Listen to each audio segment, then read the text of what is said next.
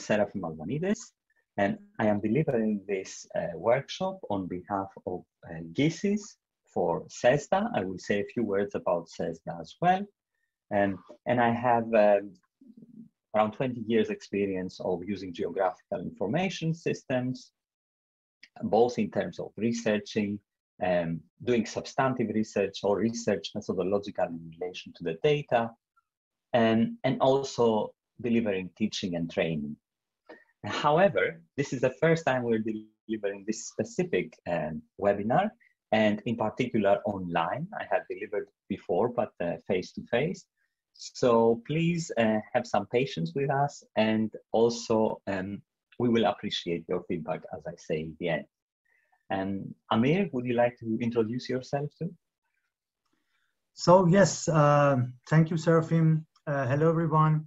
Uh, I am, uh, my name is Amir uh. Uh, I have PhD in urban and regional planning.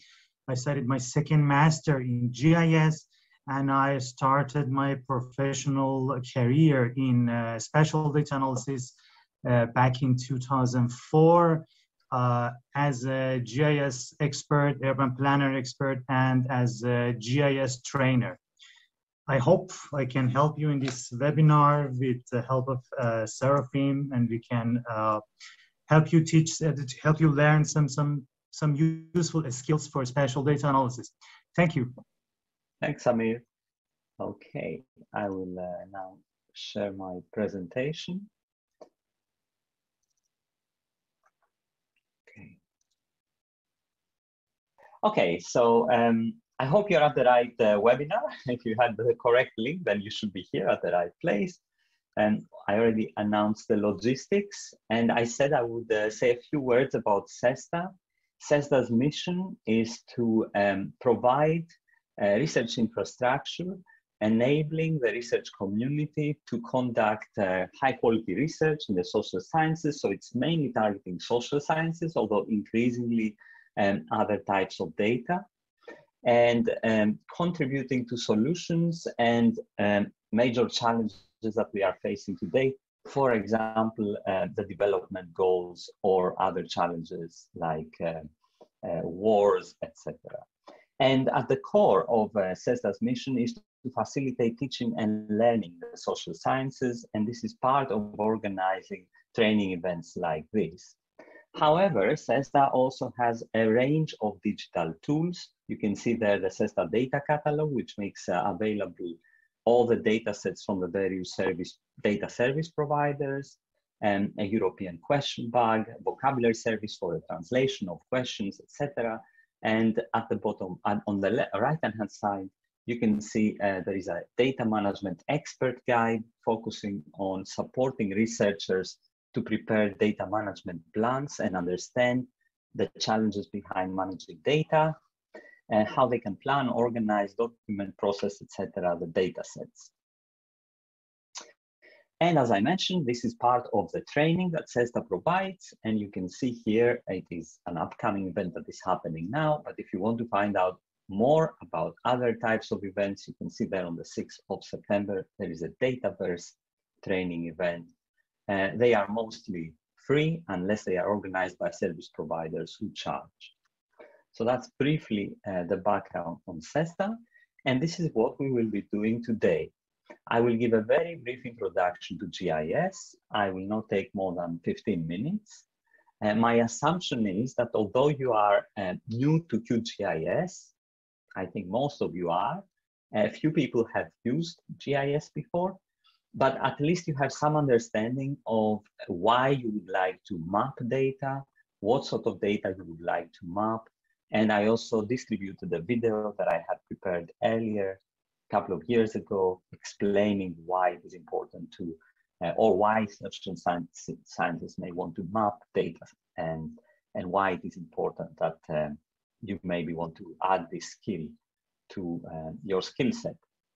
Then we will have a very short exercise to make sure that you all have uh, access to QGIS as we expect you to before we progress to the first part of the workshop, which is mostly focusing on working with tabular data. Then we will have a break then Amir will take over with a spatial data analysis part, and we will close at around um, quarter past four with questions and answers. What I would like to stress is that um, we conceived it slightly differently in the beginning, and then we realized how many people had signed up. So because it will be difficult to have one-to-one -one interaction with you, uh, we kind of simplified the workshop. So, so this is a very sim a much simpler version of what we had in mind. If you manage to follow along, then we have extra exercises for people who are faster than, than the average, and you can um, in the spare time, you can kind of work along the extra exercises. If not, then um, we are hoping that everyone will at least achieve the, the main um, maps that we want you to produce today. Okay, so a very short introduction. And as I said, I am a researcher and academic, and I have done quite a lot of uh, research using GIS and also on substantive matters. So as a, as a means of introduction, I'm showing you here uh, one of my uh, publications from seven years ago, where we were looking at uh, urban sprawl in European cities. And I am showing you this for a number of reasons. I know we have participants here from all around the world, but uh, the kind of data we will be using today is mostly European data. Well, it is exclusively European data, actually and it is uh, data available to be downloaded freely. And this is, if you follow this uh, publication, you will see that um, I'm using similar data there to look at how the cities around Europe sprawl. Sprawl, urban sprawl means how they expand and uh, how fast this happens and in what, uh, not only at what rate, but in what fashion it happens and also what the potential implications may be of this urban sprawl and the causes. And in general, it is considered something negative. So how can it be reduced or stopped? And although there are debates about whether urban sprawl is uh, positive or negative, uh, or can have positive or negative effects. And here uh, you can see other reasons why uh, social scientists may want to map. Uh, we are interested in seeing patterns of phenomena. On the left-hand side, you have population density in Europe. It is plotted as dots, as points on the European map. Every point um, represents a certain number of people. You cannot see it as points, you just see the overall pattern, the concentration around cities. And on the right hand side, you see the same kind of data, but um, represented as, uh, as polygons. And this is NUTS level data that we will discuss again today. And again, the reason why I'm showing this data is because it is related to the kind of exercise we will be having today. The other reason why I am showing you this map is, of course, it, there is an interest in the patterns that we observe, and you can follow the links to the various publications. Is it good? Is it bad? What is happening with the concentration of uh, people in cities or in certain urban areas? But and you can see here how the impression you get from this map is different depending on whether you're looking at the left-hand side or the right-hand side. And one is a representation of points, as I said earlier. The right-hand side is the polygons. You can see how some of the patterns become diffused. For example, in these urban areas that you can see around Cologne, and in Germany, etc., you can kind of sense that the colors are darker, darker, but the impression is not as strong. And when you go to Athens, it's a kind of lost and the fact that uh, the Athens, Athens is so densely populated. So there is something here to be said about how do we actually map data, what sort of um, underlying data we are using, and what sort of visualizations we are using. Now, at the core of uh, this concept of GIS, and what you need to remember is that uh, it is highly reductionist. Um, it is one of the major criticisms, of course, of uh, the, datafication and digi digitization of all this data, that all this complexity and richness that we see, and the data we collect, etc., becomes reduced into this concept of layers. You will experience this today with the various exercises. You will see that we start talking about variables and interesting things, and then we reduce everything to something really simple, like is it a, a boundary layer or is it point layer or whatever, okay? So in order for uh, the geographical information to understand the geographical data, we have to simplify it. And the simplification happens through this um, layering approach. So what we have here is roads, and they are represented, as you can see here, as lines. Land uses are represented usually as regions or polygons. Boundaries can be represented again as lines, but they contain areas, for example, countries, cities, etc. Then you have a hydrography layer. We will not use any of these kind of layers or elevation, um, but um, that's what you need to have in mind we will constantly be talking about different layers. The data you downloaded already will be perceived as layers. The other thing um, that I would like to point out here is that another layer of reduction is how these layers are represented. I mentioned, for example, that roads are represented as lines. And the question is, should roads be lines or should they be something else? Um, and this depends a lot on the scale that we are using and on the type of data and the way that the data has been collected. So again, a second layer, level of uh, reduction in, in your mind is whether things are represented as points, lines, or polygons or regions. This is standard GIS terminology that we will be using and you will see later today. And another layer of uh, abstraction is whether things are represented in a GIS as vectors, as we say, whether they have exact coordinates, like the points, the lines, and the polygons I mentioned earlier, or whether they are represented as rasters, as images. We will not be using any raster data today, or image-based data, but you can see here at the bottom, you have image-based which is, um, for example, scanned maps or aerial photographs or satellite images. These are all types of um, raster data. So today we will be focusing on vector data. and we will be focusing on points and polygons. We will not do much with lines. And uh, we will use some very basic uh, spatial analytical techniques, but we will not delve into um, more complex data sets like uh, grids or rasters, etc. Here's another example from a previous publication that demonstrates this concept of uh, the layering and the simplification that we have. For example, we have secondary schools, you can see here now, represented as points. Okay, it doesn't matter what the map actually shows, you can follow up the publication it has to do with uh, the way children attend schools in uh, South Africa. Um, and you can see here the simplification. We have the points representing uh, the various schools. The color of the point, the points represents the pass rate for the pupils in those schools. And then we have these um, school districts. So these areas are school districts now polygons or regions, as we call them in GIS terminology. And then you have the pass rate at the regional level. And this is a comparison between the region level and, and pass rates for, for uh, children and the specific school level pass rates.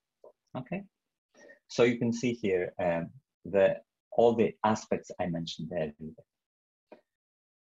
Uh, another thing you want to have in mind, and Amir will expand more on this in the third and final part of today's workshop, is the fact that once you um, have in mind this concept of points, lines, polygons, you can then do um, more advanced level of analysis. For example, you can create catchment areas or zones of influence around these features.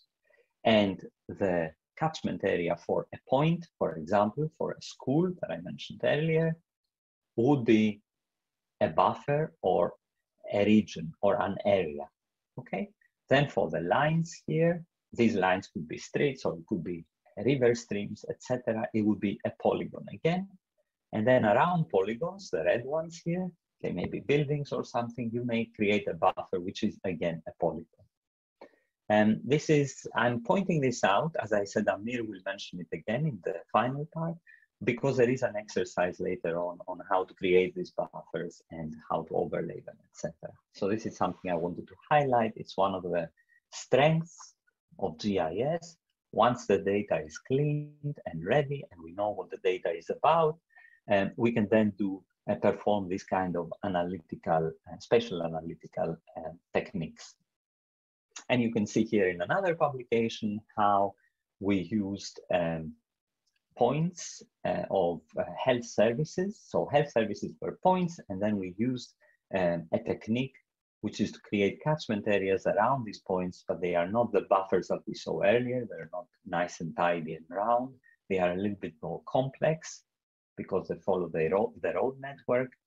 And then uh, we have superimposed them on top of urban blocks um, in a city, in Oaxaca, to see what part of the population is served by these health services. So you can see here how uh, a simple technique that I mentioned earlier can be used um, in analytical terms for uh, actually carrying out research. And I will not go into more detail into the GIS uh, aspects. I just wanted you to understand the concept of layering, the concept of different representations of features, points, lines, polygons, the fact that we can do certain things with them, like expand them, create catchment areas, and overlay them. And um, you will see um, most of these things in our examples. However, what I would like to mention is that there is a geographical information system of the Commission. And it, to a certain extent, it is a GIS, an online GIS, because it has the underlying data. You can see there the databases, and it has some very basic tools. You cannot do uh, many sophisticated things. You can simply create maps and, in some cases, kind of change the representation. And Eurostat also, um, of course, offers uh, European geodata. You can see here the different administrative units. Uh, this is where I downloaded the data for my publication, the first one that I showed you, and as well as the data that we will be using today. You can download data on population distribution, transport networks, land cover, etc., and elevation. So you can you can download also grid or raster level data from this website. And however, uh, what I want to show you, oh, this is a little bit dated as an image because since then we have the uh, more recent NUTS data that you downloaded today. And so you can also download administrative units from this website. I, uh, I managed to finish a little bit um, earlier than I thought. And because I am very keen to make sure that um, everyone has first of all, downloaded the data that uh, we asked you to download. And many of you responded, and uh, I have the responses, and, and I can see that in general there were no problems. And also that you managed to install QGIS and change the language setting. This is very important. I have an anecdote here. I try to deliver a European level uh, event, and uh, people came in with, with their own laptops from so many countries in, in Europe. And when we started um, the workshop, I realized that, uh, of course, it had reverted to the setting of everyone's uh, native la uh, laptop uh, language and it was uh, very difficult to then switch um, on the fly. So it would be great if you could do that beforehand. Okay, I will stop sharing my screen first of all, and then look at the Q&A. Okay, we have a few minutes. I have a point shape file, another one CSV file, the point there, uh, variable name the same point. Okay. I'm already yes. answering actually. yeah. Great. Okay, thank you, Amir. Excellent. So um, this though uh, reminds me that while I am delivering, Amir, if it is simple things that uh, Amir can uh, respond to, and he will respond on the Q&A. Um, if it is something more complicated that we need to stop and address for everyone, um, then Amir will notify me so that we can do this. so this is the communication we will have. Sometimes the questions can be responded very quickly, and sometimes they, I will have to stop and take stock. Okay, um, so let's um, first of all start with the first. Okay, you have to give me a, a minute or so to switch between the various screens.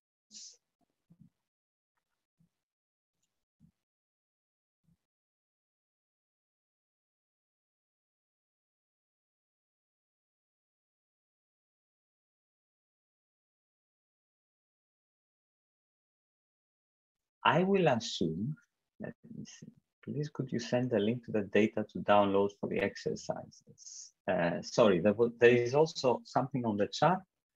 Um, Susan and for others, we did send uh, an email with all the information about how to download the data. Um, we will also, Amir may be able to send you the file about downloading the data so that you can do it uh, now. Okay, I will share my screen very quickly and um, just to show you what it should look like if everything has worked well.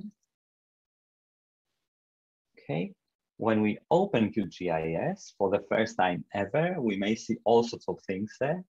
Um, and then when we open it again, we usually see what uh, we were working on the previous time. So here you can see all sorts of things that I have been working uh, with.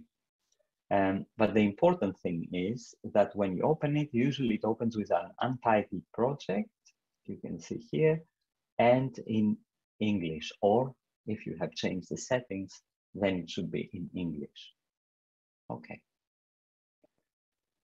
So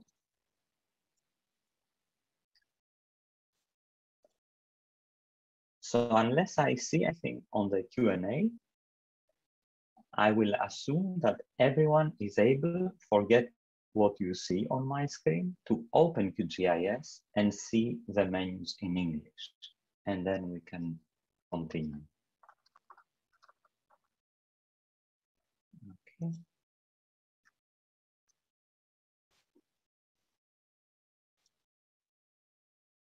Ah, okay. Uh, yes. Uh, sorry, I should not be mentioning names. I'm sorry about that. Someone is saying that it looks like the questions are visible only to the trainers, but some questions may be relevant to everyone. This is actually a very good point. Um, so maybe, how can we address this? Um, okay, so here's my suggestion. If you feel, if you feel that um, you are stuck with something and you suspect you are the only person who is stuck. Maybe it's better if you put it on q&a and if you feel that um, you, and you don't mind sharing on the chat etc with others um, you may want to ask on the chat. So thanks for pointing this out. This is a very good point. Um, and uh, we will also be checking then the chat uh, box. Okay, so we will start then with the exercise. And the way this will work is I will share with you a file on the chat uh, which contains the exercise, but please don't start doing it. And this is for you to have uh, next to you uh, or to open it in another device. I will run through the exercise, not the whole exercise, just the first couple of steps, and then I will ask you to follow. Um, and you will have this uh, file that I will send you so that you can um, um, kind of follow the exercise step by step. So we will be doing this in small steps, okay? We will be doing it every three minutes. I will stop, check, if someone is stuck, Amir will uh, step in to support you, um, or I can respond as I did so far. Um, and please do not uh, try to do the whole exercise in five minutes because it would be nice if we are, if we try to be all together. Okay, so Give me a second, please.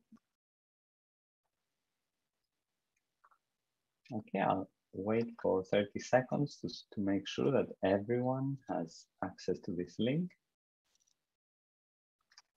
It should have worked now. Excellent.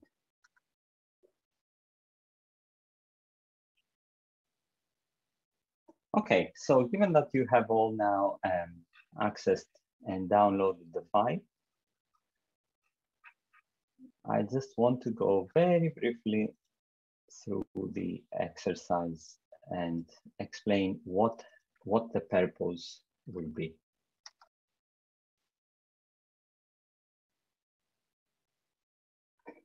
So as you may have guessed, um, I was talking about population level they, or NUTS uh, data, populations, etc. So the aim will be to recreate um, this kind of density maps. I have a link here.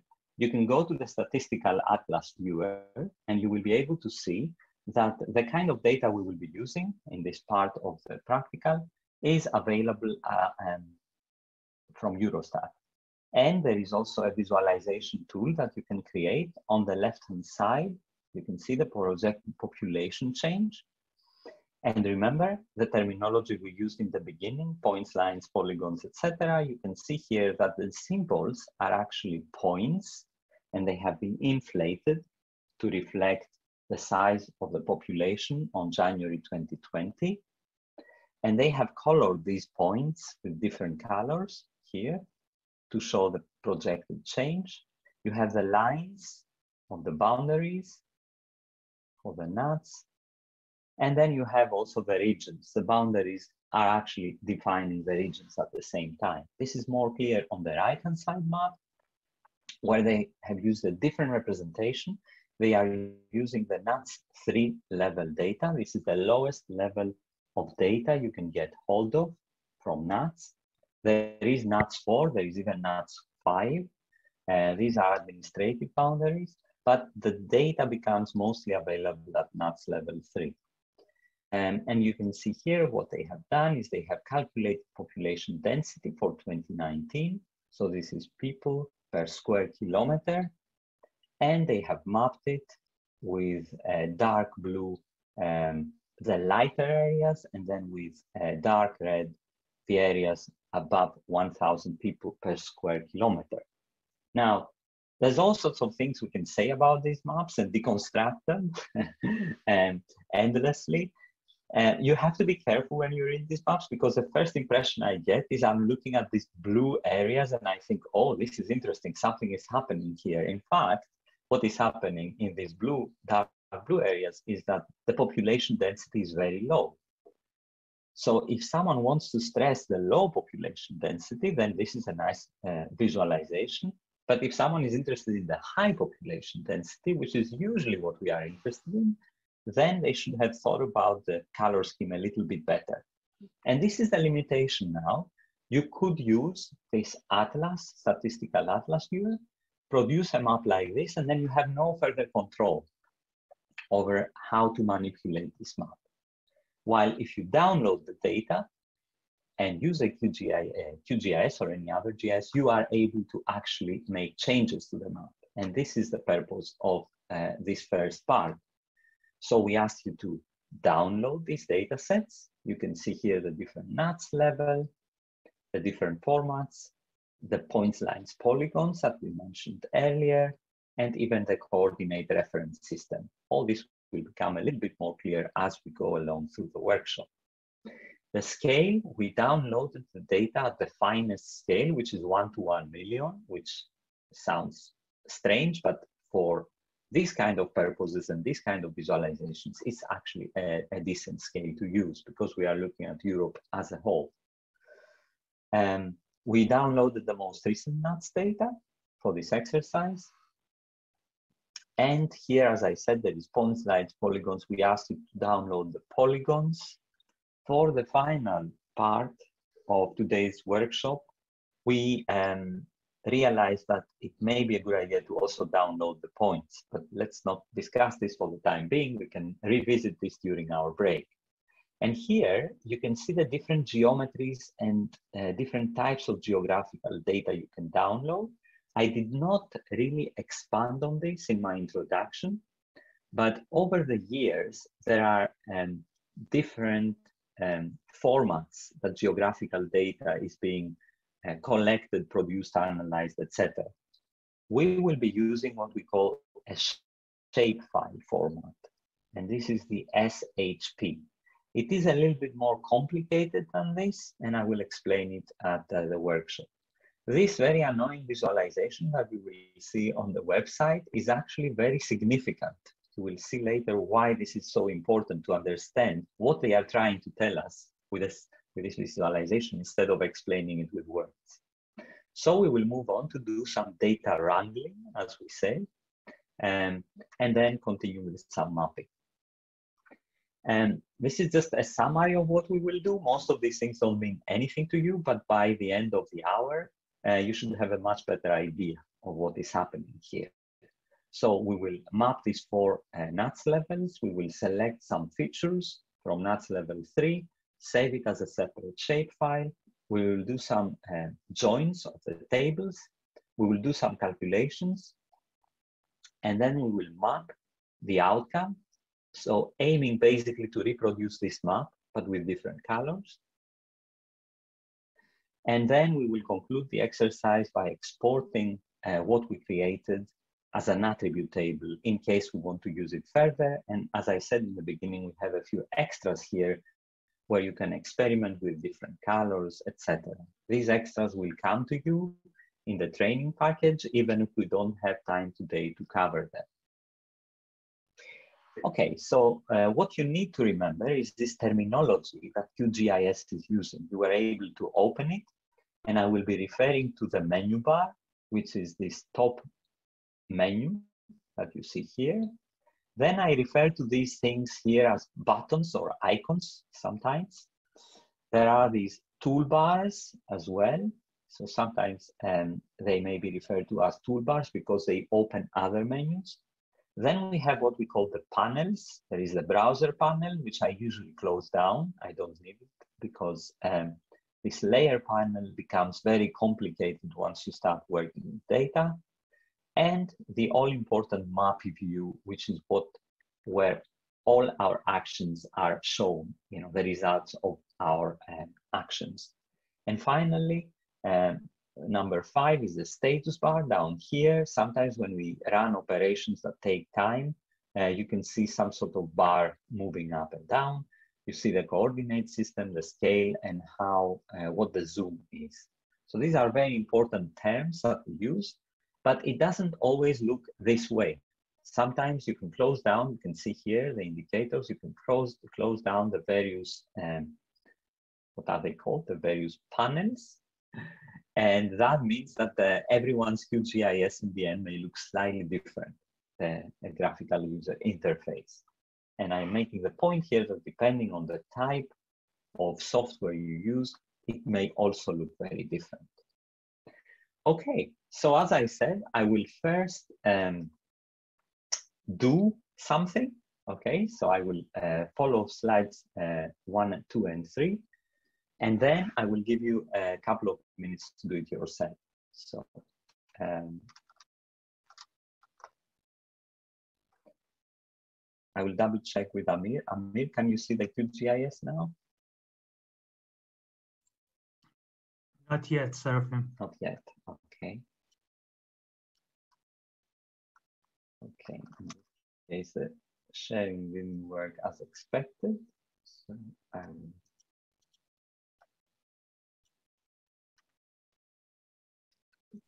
Yes. Yes, okay. Okay, so let's start then. Um, so the first step is we start with a new project. We can do this either by saying project new up here or by clicking this white empty page. And you can see immediately that everything changed now. As I said earlier, it may not look the same like yours because I have modified slightly my screen. And I prefer having here only the layers. And because it gets very busy, you will see once you start loading uh, the different layers. And the first thing we do is, I didn't talk about projections, Amir will talk about them, but there are ways to represent the various coordinates and do the transformations from the uh, geographical coordinates to the space Cartesian coordinates, etc. The data we downloaded is in a specific uh, system. Uh, remember, you had to choose it earlier. And uh, we will use the same system here. So we will specify here for the project the properties. Okay. Amir, can you also see the project properties? Yes, the pop-up is also okay. excellent. It's visible. Um, so we will specify here under CRS, the project coordinate system. We will filter using um, EPSG 3035, which is the one we used when we download the data. It's a European centered system. You can see the change here uh, and then apply and then okay. Nothing changed because we haven't loaded anything yet. Um, but once we start loading data, they will um, start overlaying because we are using the same kind of system. The next thing we do, if we want to open a data set, we open a data source manager, which opens another window. I mentioned earlier, we will be working with vector data. So you can see here all the different types of data we can upload, for example, raster, etc. We are focusing on vector. Then we need to go and find our data set. And um, sorry, you see my all my data here, but here it is. In there, there is the NUTS level regions you may have fewer data because uh, I did some analysis. Um, and the interesting thing is that it can open the zip file in theory. Let's see if this works. So you don't need to unzip it. Open, you leave this as it is, add, and close. And we have the NUTS data that we downloaded. Um, usually what happens at this point is people start moving things around um, or clicking or zooming in and out by mistake, and then you end up in the middle of uh, the scene not knowing where you are. This happens a lot to everyone, including to myself. When this happens, you go on the layer name, right click, and then there is an option here, zoom to layer. And then usually it works and you come back to the original zoom of the layer.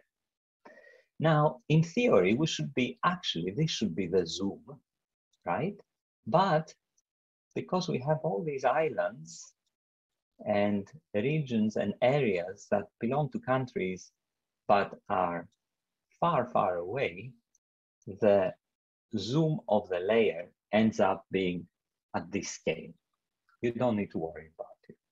However, what we need to do is to also change the CRS of the layer. So we set the CRS for the project.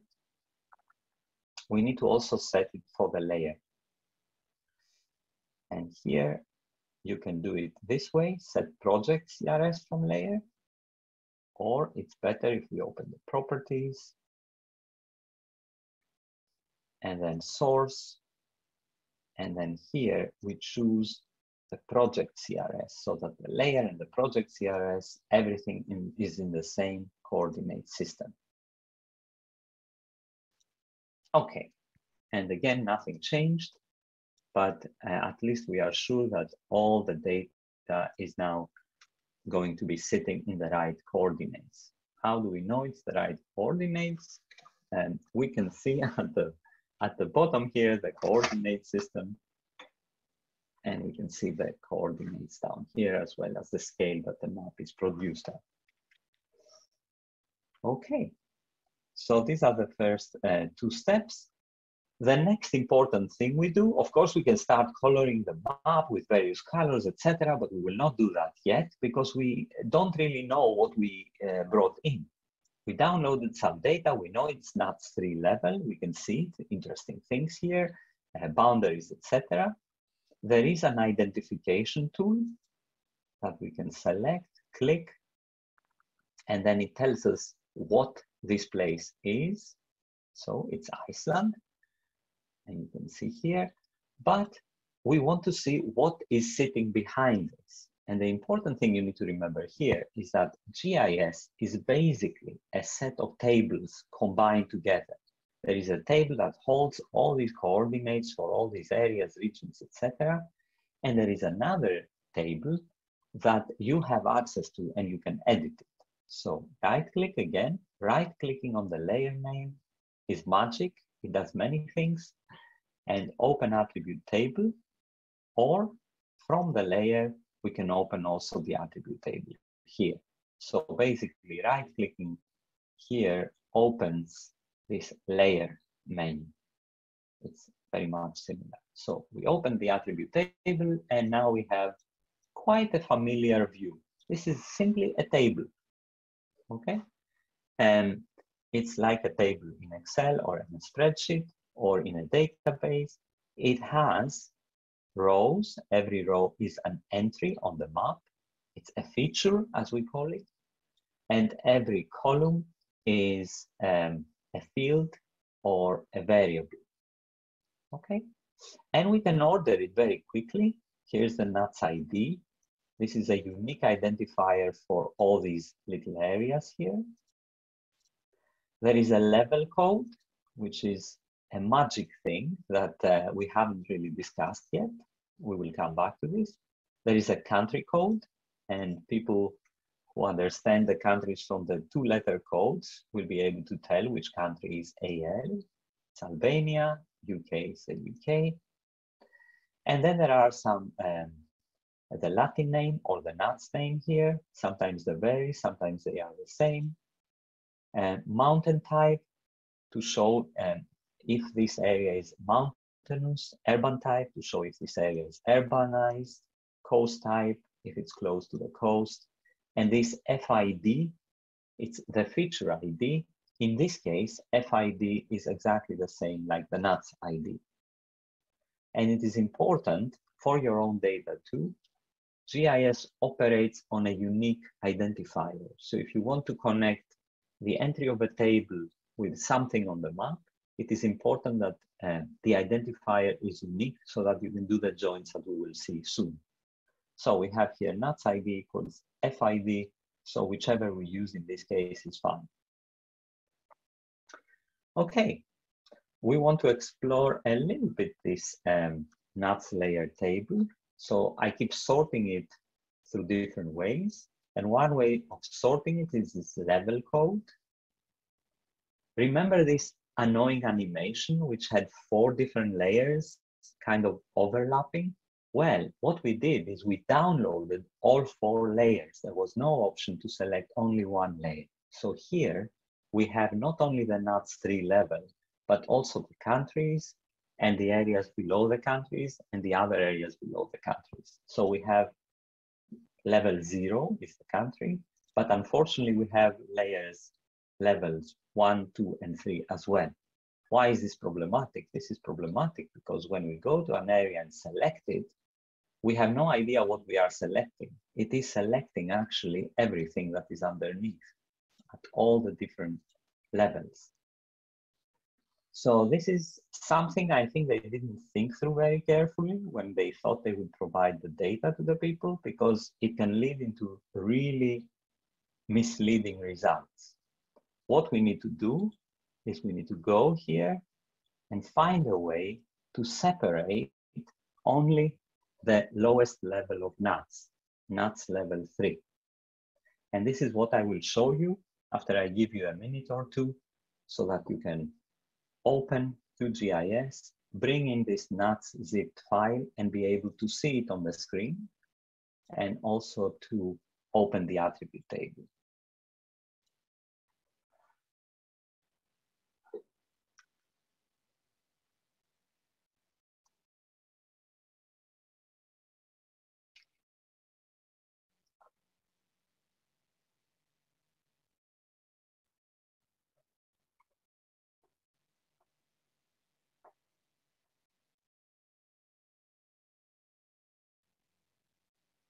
Amir, if there are any questions that I need to stop and respond to, please let me know.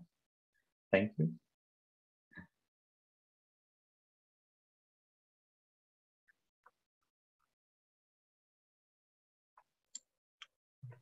Everything's okay, Seraphim. No questions. Excellent. All are Okay. answered. Okay. And in this case, I'm moving to B4. B4 says um, mapping the four nuts levels. So um, instead of me, I mean, I can do this. Let me see very quickly. So we did B1, B2, B3. We explore this a little bit. Now we're in B4, mapping the four nuts levels. So this is the first uh, mapping we will try to do. Again, right click, properties, and now uh, okay, it unselected this. Uh, symbology is the next thing that you will be using a lot with QGIS. It's basically how you map things on the view. And here, we will try to map these different levels. We said there are four different levels. We will try to see what is happening here, okay? So these are now categorical variable. It's a categorical variable. It's numeric, 0, 1, 2, 3, but it's actually a category behind it. So we use the categorized option. It was the level variable. Here it is, the level code. And then we use classify. We leave this as random colors, it doesn't matter. And we classify it. And depending on um, the mood of QGIS, you may get different colors here. so um, we will keep it as it is, and then we will click OK, and we will see immediately the result on the screen. And the result is not very, um, let's say, exciting. It's quite messy, actually, uh, because, as I said, the different layers overlap. So if we untick them, then you get to see the country level. Okay? So NUTS zero is the only thing we see now. These are the countries. If we click one, we can then see the next level. Okay, they have names, these things, large areas or regions, etc. You can see, for example, in the UK or in Greece. And then you have the next layer up, level up. It starts getting messy in Turkey because the levels start getting mixed. So it's better if we untick all the others. And then finally, the level we are interested in, level three, there we are. However, this is not enough. We have simply visualized it. We have not really done any manipulation. So anything we try to do will apply to all these overlaying levels. We have to find a way to separate this level three from the mixed data set and create a new data set. Okay, so in slide B5, you can basically see the problem as I just described it. The four nuts levels came as a single layer, but they overlap. And this is now what this annoying animation means. It means these things are overlapping. And a trick I use is to always switch on here the feature count, because then you can see how many of these areas fall under each category. This is a very important piece of information to have so that you can understand a little bit your data. Okay, so you can see here 37 countries, and we are basically aiming to separate these 1,514 areas. If we open the attribute table again, you will see here that we have in total 2010 features. This is because all these areas overlay. So we have to find a way to separate these 1,514. Okay, there are many ways to do it. We could, for example, rank it and we could go and select these areas one by one, right? We could, for example, when we left click here and keep shift down, then we select areas. But it is a little bit painful to do this 1,514 times. You can see here, as we select the areas, they are highlighted on the map. We could select the first one, scroll down, try to find the last one, somewhere here. Uh, and then select all of them. But in the process, we selected a few that are number two. So this is not a very safe way to uh, select data with uh, the attribute table. We need a little bit more of a scientific way. If we selected things by mistake or clicked on them, there is this little button here that says deselect features, and then it deselects everything. Anything that is yellow on the screen, on the view, means that you have selected something.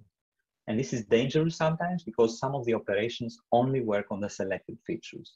So you need to make sure that this selected is set to zero and you don't see any yellow things on your screen.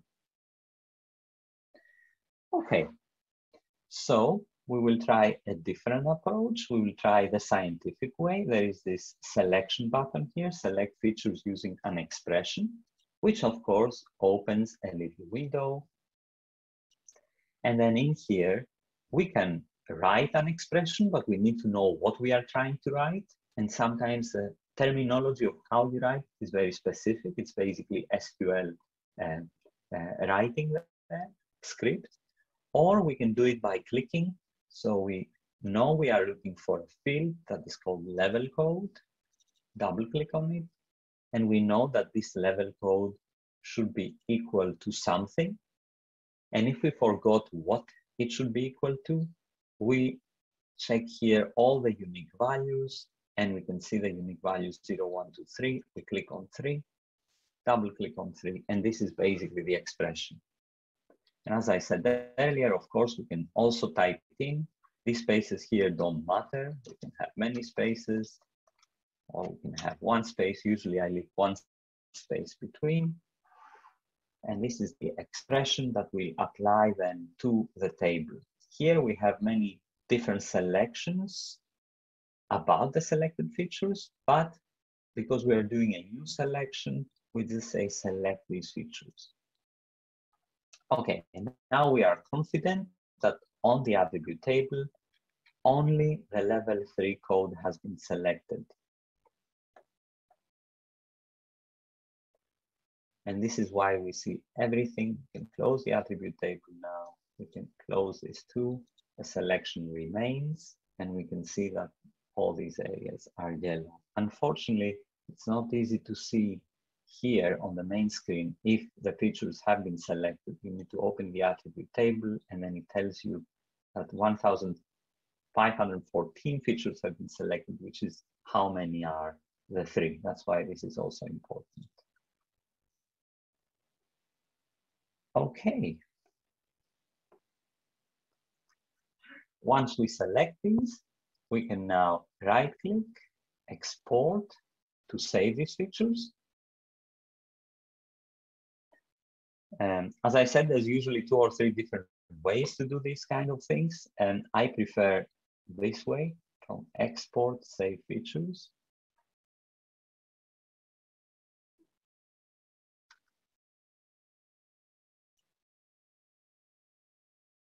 And then here, we want a shapefile. We will save it again as a shapefile. Uh, we want the same CRS, remember we selected the CRS is 3035, so we want it to remain the same. We can switch it if we want to the project CRS, it's exactly the same here. Then it starts becoming complicated, we don't want to change it, okay? And then here, we go NUTS 3, I pre-created a folder, but you can create a new folder.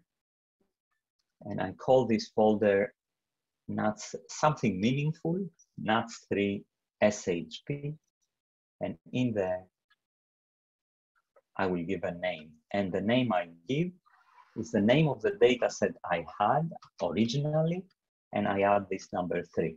So what I'm trying to do here is to remind myself that this data comes from the NUTS level data at 1 million for 21 on the projection 3035 and I just add the three there to make sure that this is level three data only. And then I save it.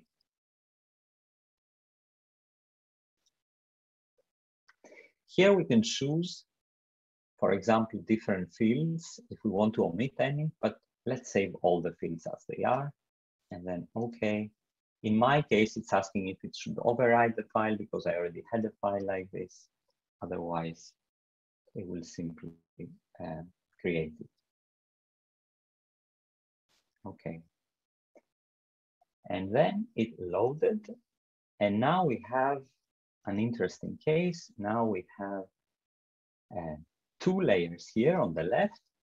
You can see the one we just mapped with all the different levels. And this one, the one we just created, the dark one. And if we click now on this dark one, oops, sorry, I have the other one active. Ah, yes, I did something wrong, of course. Yes, I'm sorry. I will go one step back. I will show you what happened. I forgot one little detail. This may happen to you as well, so it's good it happened to me. When we export, in fact, it happens a lot. um, when I exported, I exported the whole um, the whole data set. Basically, I created a copy of all the different layers. So I will do it again. And there you go, save. But the crucial thing is down here, where was it? Uh, save only selected features. In the practical, I highlight it, but sometimes I forget you need to tick save only the selected features. And then when you click OK, you override the file. And now it should work. There you go. If we click on one of them, now only one is highlighted here. You can see this. I am in some random place and I click a few. In this case, it was two because they are too close together. There it is, one again.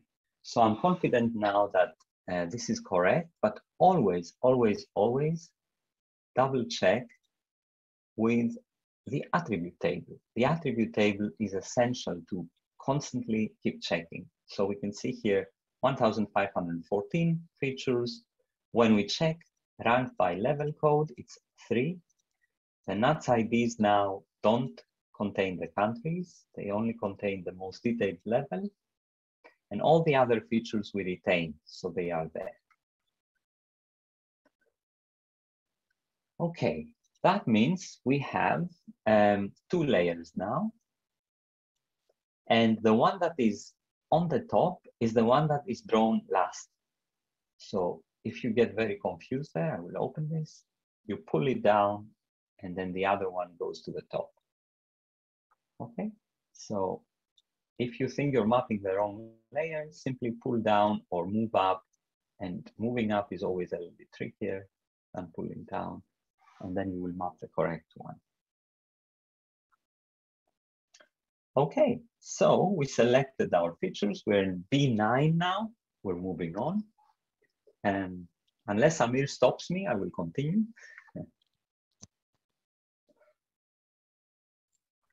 Continue, Seraphim. Please continue. Excellent. Okay. Thank you, honey. Okay. Right. Um, okay. Moving on to B9. Create the new shapefile with the NUTS3 boundaries. Let me share my screen with B9. Okay. Here we are. Check the new layer attribute table, but it only connects. We did that. We opened it. We checked it. Um, and let's do a little bit of more exciting mapping now. Let's uh, leave aside, here you need to be a little bit careful to leave aside the one that we already had. Um, just untick it, but leave it there for the time being because we never know if things went wrong or if we do something wrong. But remember, we go into the properties of the new uh, NUTS layer, symbology, and we will try now to map the country level data. So let's map countries. They are also categorized. Okay. And we will map country code. Country code. Okay, classify. Again, you may get different colors here. Apply and okay. Okay, this is a beautiful map of the countries. And don't get misled now. This is a different concept to this map. Okay, so this is countries at the country level. And this is country at the country level. So we only have 37 of them here, right? And the boundaries define the country boundaries. If you click on one of them in theory, but in practice it will not work because there's all these overlays, you should be able to see just one country. The countries we just created here is the NUTS data, the NUTS 3 level data, mapped with a code that is the country code. So it is a little bit misleading what you see here. When you click on it, you don't get a country, you get the NUTS level data. NUTS 3, sorry. I keep clicking 2, here is 1, okay? So it doesn't select the whole country. I just mapped it so that we get some interesting patterns here and, and we know that things are working for us. And there are ways, of course, from here to go to the countries, etc. We are not going to deal with this for the time being. I just wanted you to see how to map the country level and remember always right click and switch on the show features count and here you can see nicely how many of these NUTS 3 areas are within every country. Okay, so again, Albania, for example, has 12 of these NUTS areas, the UK has 179. Okay, this was B9. B10 um, we will now, we are confident that this um, extraction of NUTS level three has worked. We will remove this extra layer that we downloaded, the, the original one, remove layer. Okay, remember we are not losing anything by removing layers from here. They are still stored as shape files. We just remove it from the view. Um, and this layer is already saved as a shapefile, so we don't need to worry about it, but we need to save the project. We need to save all the work we've done so far and this view that we have. So we go project, save as, and then we save the project. So I'm gonna save it as exercise two, save, yes, I will override. In your case, you will not have any exercise two, so it will be fine.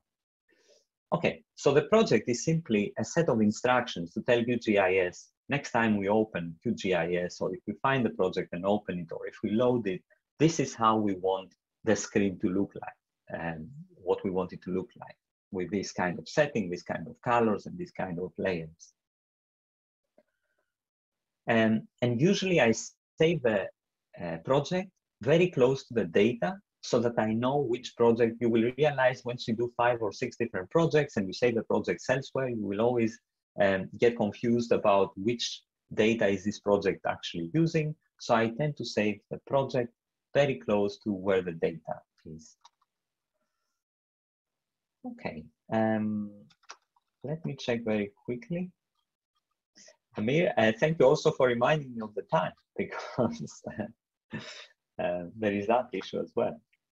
Uh, Seraphim, we have a question in the chat that you may answer. Okay. Um, um, and so the question is, can you repeat how to see every attribute for a specific country? Okay, this, this can uh, be interpreted in many different ways. And maybe you mean um, this option here, so feature count on and off. This could, could be one thing that you may mean. Or how to open the attribute table, which is this, open attribute table, and then you can see the attributes. Or you may mean here, how do we actually get to see what the feature is? In which case we click this I button, identify, and then we click on it, and then it opens this here, this little table. This little table is actually the attributes from the attribute table. It's just instead of horizontal, we see them vertically, okay, in a different format. So I hope I answered the question. Um,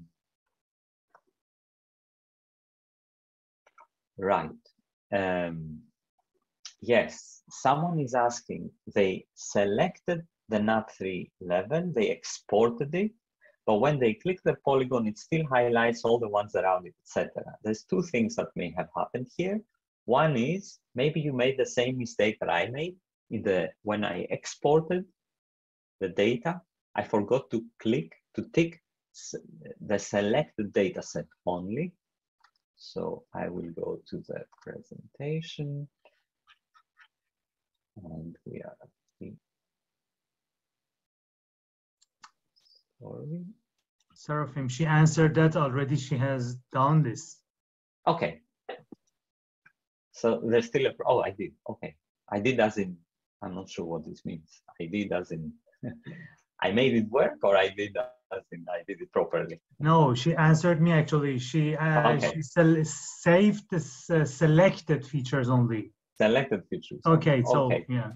Then, then we may have an issue that you need to select the right um, layer to highlight. And remember, if you're at the wrong scale and you click, it selects quite a few because you need to, there is a way to specify when you click here what sort of radius of selection will happen. So you have to go in quite, quite in there to select or click and only see one.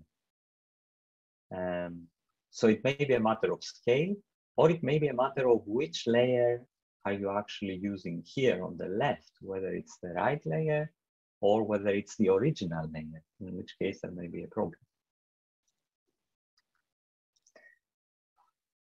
Uh, okay, so I will, uh, there is a question about how can I add columns of coordinates for each layer in the attribute tables, but we will come to that. Um, in the next few minutes. Okay, so we are now at step 11. We are confident that our uh, geographical data is clean and tidy. This is the data we wanted, but we downloaded population level data. And remember, it's a simple CSV file I know some people downloaded it as a zipped file and then there was a matter of unzipping it, but there was an option to download as a CSV file. And if people haven't downloaded it as a CSV file and they cannot unzip it, please let us know and uh, Amir can maybe send you the, um, the actual CSV or I can stop and we can repeat it. Um, but the way to bring in this data here is again through this open data source manager. But this time it is not vector data. It had no geography. It had an identifier, but no other geographical information. It was a delimited text. Okay. So we're following the steps here on importing the delimited text. Okay, let's see. First of all, we have to find it.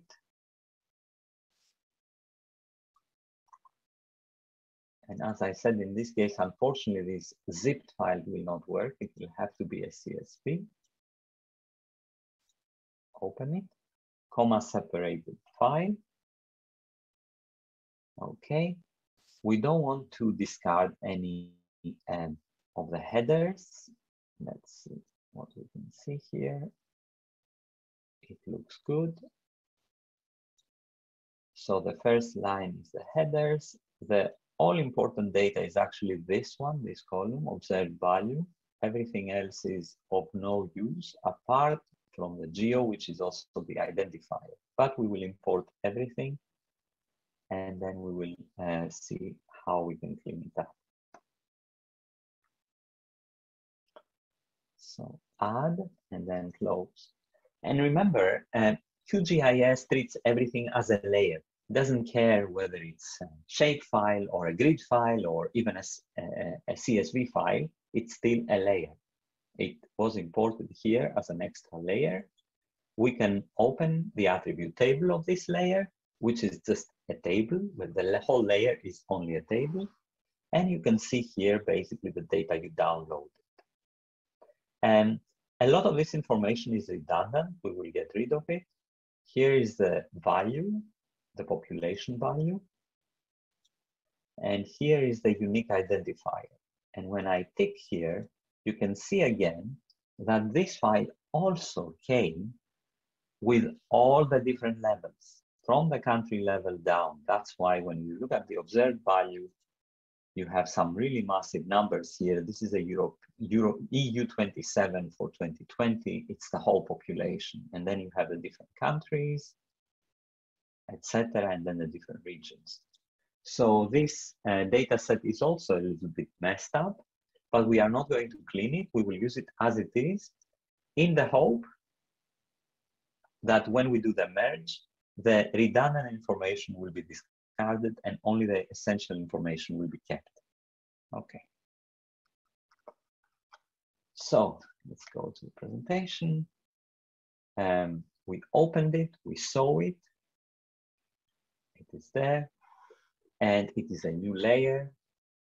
And then we will do this magic join. So um, because everything is treated as a table in GIS, in most GIS, in QGIS as well, that means we can then do operations between tables, which is the purpose of this first uh, workshop.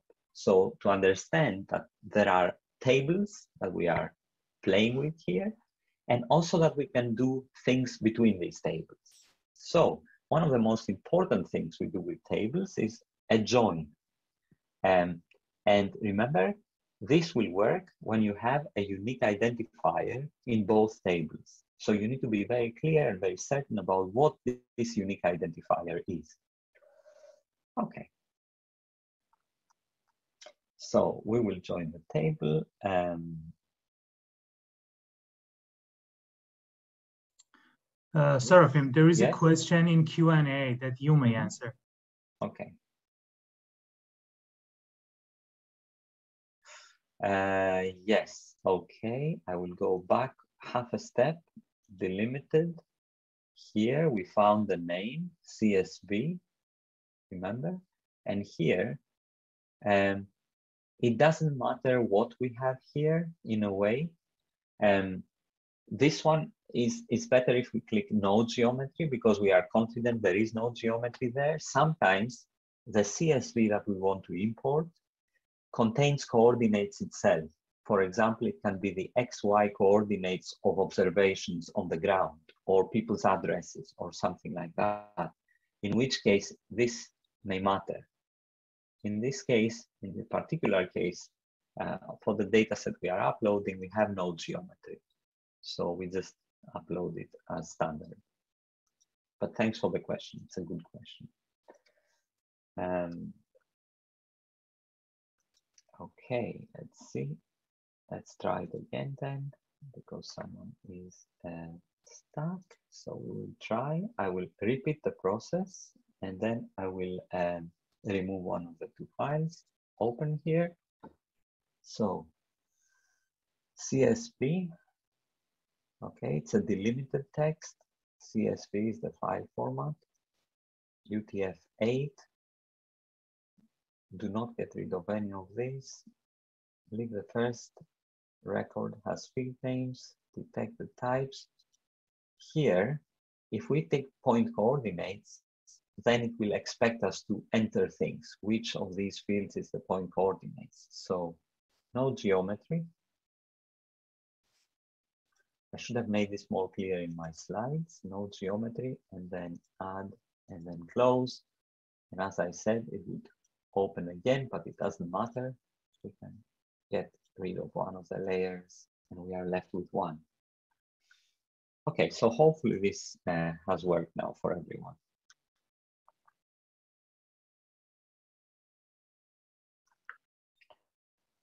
So we open now the properties of the NUTS3 layer. And here, um,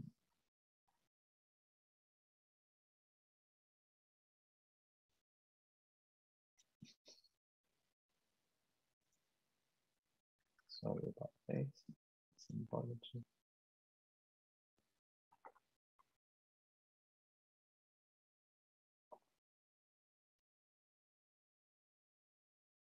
We have the joints.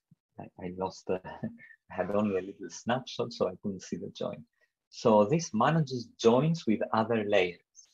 Now, when we become more sophisticated, these kind of joins can be um, more complex. We can do joins between uh, geographical layers, but in this case, we'll keep it simple. We will join a table to our features, to our um, geographical layer, to our shapefile. We create a new join. And then here, the join layer is this complex name linear, which is a CSV table. The join field is where we have to be very careful and not accept the default. This can be anything. It's probably the first one that we can find. But the join field, as I say in my notes, is this geo for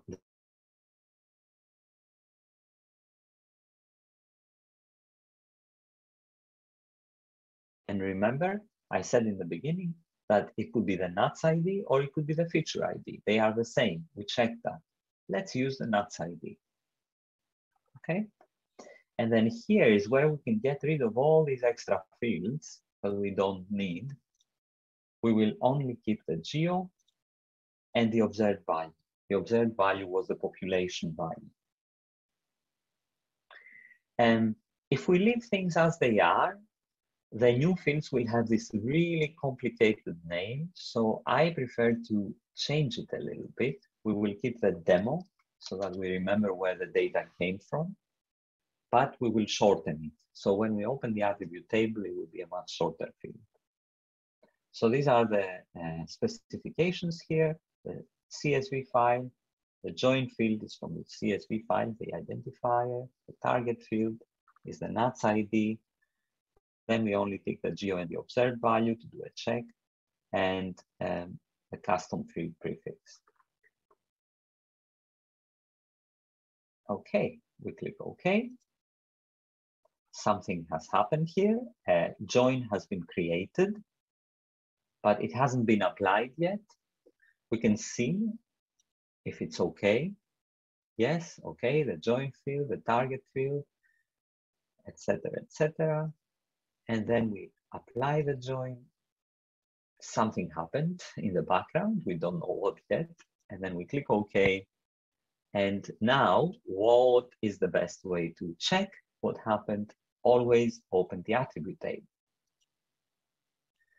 Okay, we open the attribute table for the nuts features, and now we can see that here there are two extra columns, the demo geo so the unique identifier from the CSV file and the observed value for the, from the CSV file, which is the population. Nothing else changed in our shapefile. We still have 1,514 features. And two extra columns were added. Anything that didn't match, any extra um, rows that were in the CSV file that were irrelevant because they were referring to countries, etc., they were left out. This is why I said we don't need to clean the CSV file. Okay, so when we switch here, we see, for example, the NUTS3 level information. Okay, I will pause for a minute because this is a crucial step. If this has worked, then uh, we are um, two thirds into the workshop and we can then produce some maps and wrap up. But if this hasn't worked, then um, the join process, uh, to repeat the join process. Okay, I will repeat it one more time. It is a tricky one. I will also show you, first of all, remember properties for the layers. We can get rid of a join. If we realize it didn't work or something went wrong, we highlight it here and we minus and then okay.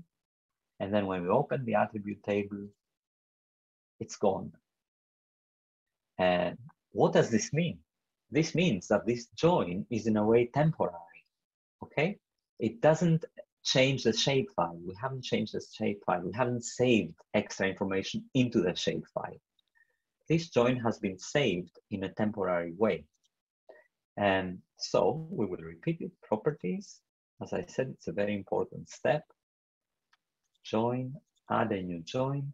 Here we select, we have to find, first of all, the CSV, but it's clever enough to know that there is here a layer that we may want to join the current layer to. The join field is the important thing. It's a geo, it's referring to the CSV, uh, the comma separated text file. Then we have the NUTS ID. And remember, here we only select the geo, observed value, and in the custom field, we removed the extra information and we just kept demo. And here, I don't think it makes any difference.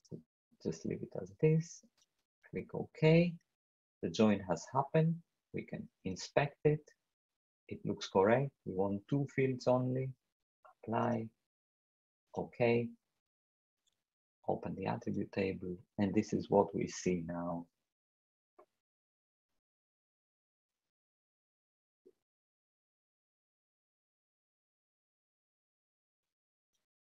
also in slide B14, uh, sorry, B13, where we inspect the attribute table. Okay, I will assume everyone is following. And because once we have this new data, we need to do a couple of calculations. So now we start changing basically the shapefile uh, gradually. Um, well, not yet, but when we save it, we will have changed it.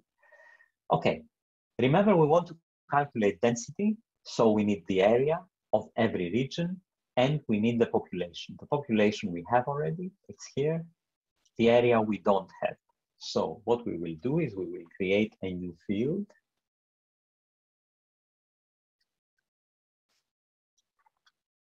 Okay. we will create a new field and do the calculation in one go. There is a way to create a new field and then go in and recalculate it, but it takes a little longer. So we open the field calculator in the attribute table. Remember, this first part of the workshop is only playing with the attribute table. So we create a new field. This new field will be called uh,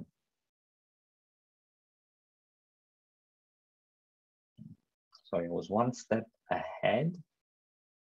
Yes, okay, we are in P14.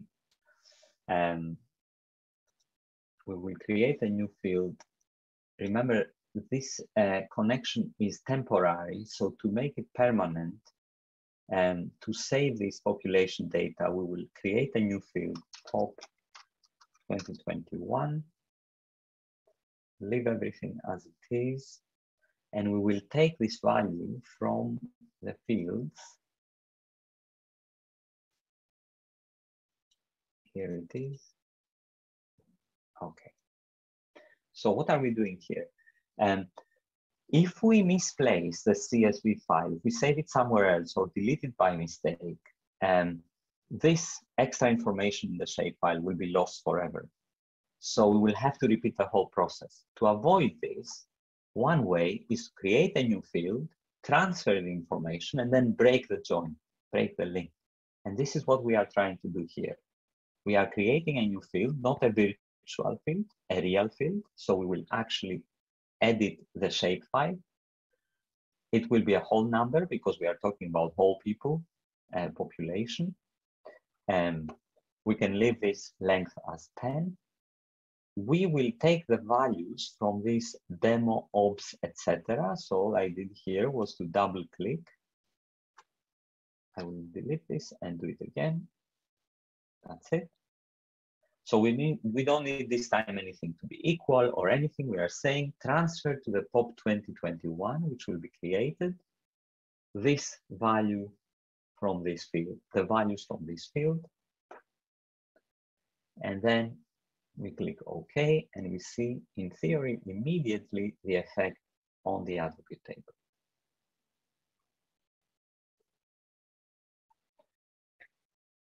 This takes a little bit longer than I thought. Uh, Seraphim, you may answer to question in Q&A. In the meantime, yes. I was meant to copy. I have a lot of null demo. Yes, we'll come back to the demo values. I did that and see no map, just white. Ah, that's a little bit more complicated now. Um, and I have an extra complication here that it's uh, not doing the calculation. Okay, on the null values, we will come back because this is uh, where the we will clarify this further on. Um, the just white is a little bit more complicated. I'm not sure what they are referring to when they say I did that and I see no map, just white. And we also have a non-responding QGIS here, which is worrying.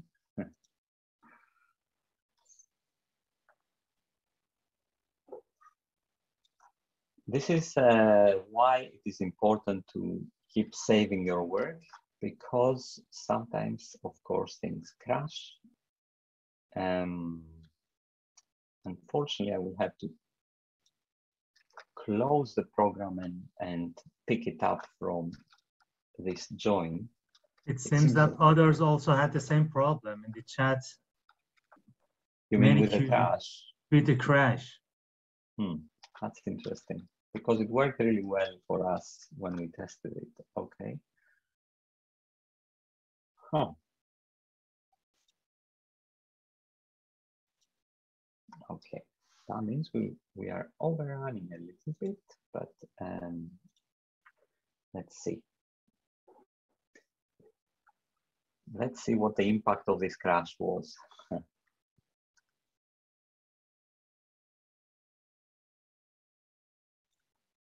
okay, unfortunately, the, the crash has quite a major impact because um, yes, eh, of course it goes back to the last time we saved, and last time we saved was the remember when we created the map of the countries.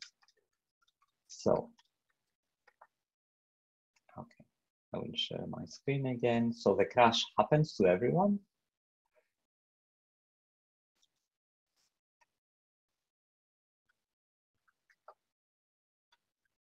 There we are. Remember, we created this country, this country map.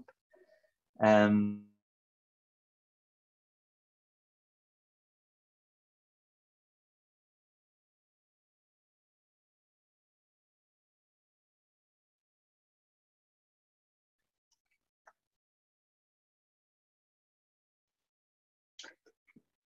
Okay, we are back and um, I just wanted to very quickly um, wrap up the first part um, and then hand over to Amir.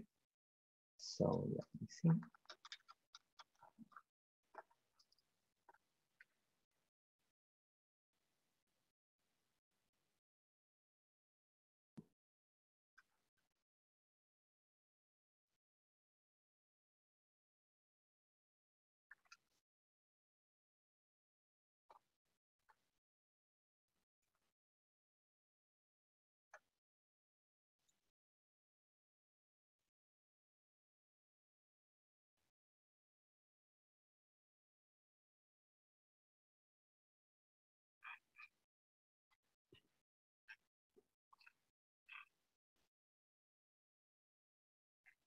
Okay, just to uh, reassure you that uh, we actually achieved quite a lot because if we manage to reach this point, calculating the area and then the density, um, this is where we were. We were comparing the density with the population. And then we exported the data in a simple CSV format. And here I just wanted to clarify very briefly the folders and files. Um, the zipped file contained a shapefile. The problem with shapefile is that they have decided to call the shape file as a concept and the shapefile as a file the same thing. So when we say shapefile, we actually mean five files. If these are zipped and in a single folder, then they can be uploaded very quickly and easily into GIS without the need to unzip them. Otherwise, it's a more complicated structure, like with the airports, where the, the zipped file contained files inside a folder that also had uh, files inside, then QGIS cannot read it. The file we saved, the shapefile, I deliberately named the folder underscore SHP to remind myself that in there there is a shapefile. And if you look into that folder, you will see now six files. One of them is a shapefile. If you want to send, transfer, move the shapefile, you cannot simply move this one file. You have to zip the folder or transfer the whole folder. Remember this with zip files. There are better formats. and there are formats um, under development, etc. But at the moment, you saw that a lot of data is downloadable as a shapefile. And finally, the CSV file we exported, it's a simple CSV file. Um, and you can see here in brief the details and the, the different uh, fields uh, as a text file, and it contains the population. The other things I had in mind was to play a little bit with the color, your color scheme. So under symbology, um, and you saw how I did this and the different patterns that you can see here. And there is a little exercise to map the uh, categorical variables that we didn't look at. The urban type, for example, which is the urban areas, the NUTS 3 urban areas, and the coastal areas. So color them in different uh, colors to see the patterns. And finally, I had an example there. I didn't have in mind to complete it today anyway. It's a little bit more complicated. How to export what you see, not as a snap, as a snip, but as a, a proper professional map. You need to open a new kind of, uh, in under project, a new print layout, and then it creates uh, a print layout that you can save as a PDF. But um, this is the very, very final stage once you are done with your uh, with your analysis, etc., etc. So we completed the exercise for the first part, and sorry, we overrun. Amir will take over for the second part, and he will follow a slightly different pattern.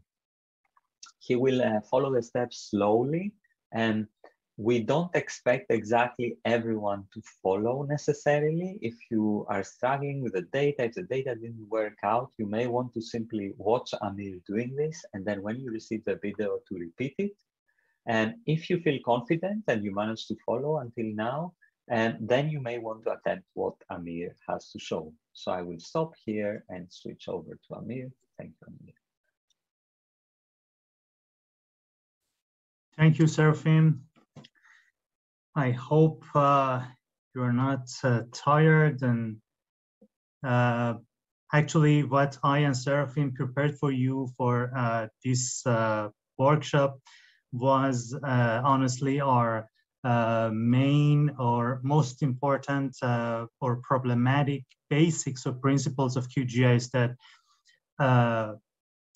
we believe that you will face in your projects so, and uh, I have a, let's say, a confession here to make that after over 15 years of working in uh, spatial data analysis, still sometimes I go back to these uh, basic concepts to be sure that uh, the project is going well.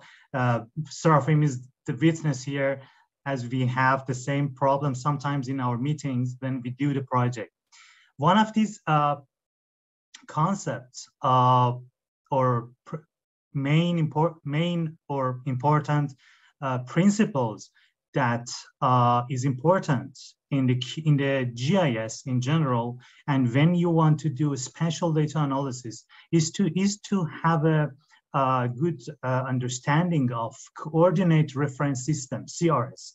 Uh, so already you had uh, the, some experience with coordinate system CRS uh, in the beginning of the workshop, but uh, what is actually a coordinate system?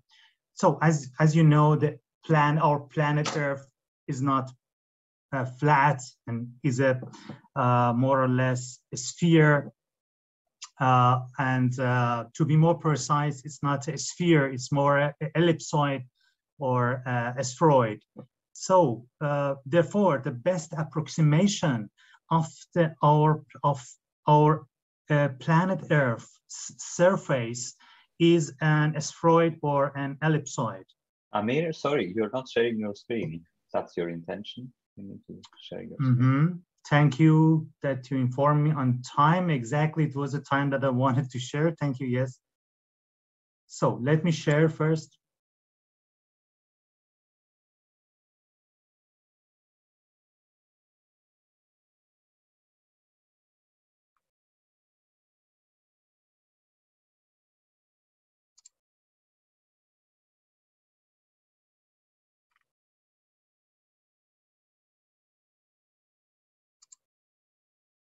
Okay, I hope you can uh, Seraphim, can you please help me?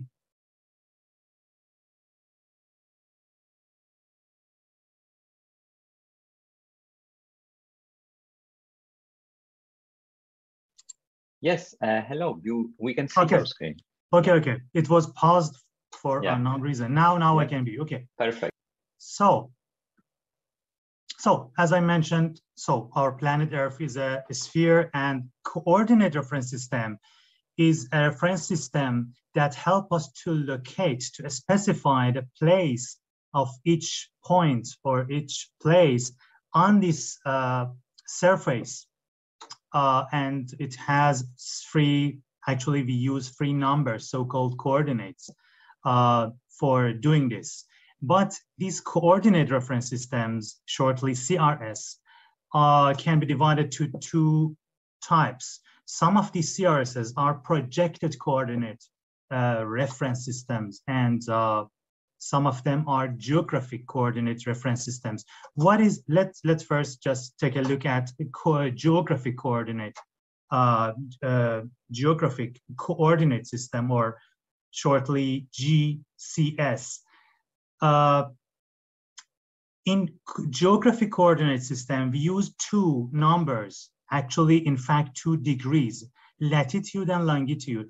Uh, I'm sure that all of you are familiar with these kind of locating points. For example, we say that Tehran's coordinate is 35 degree northward and 51 degree eastward.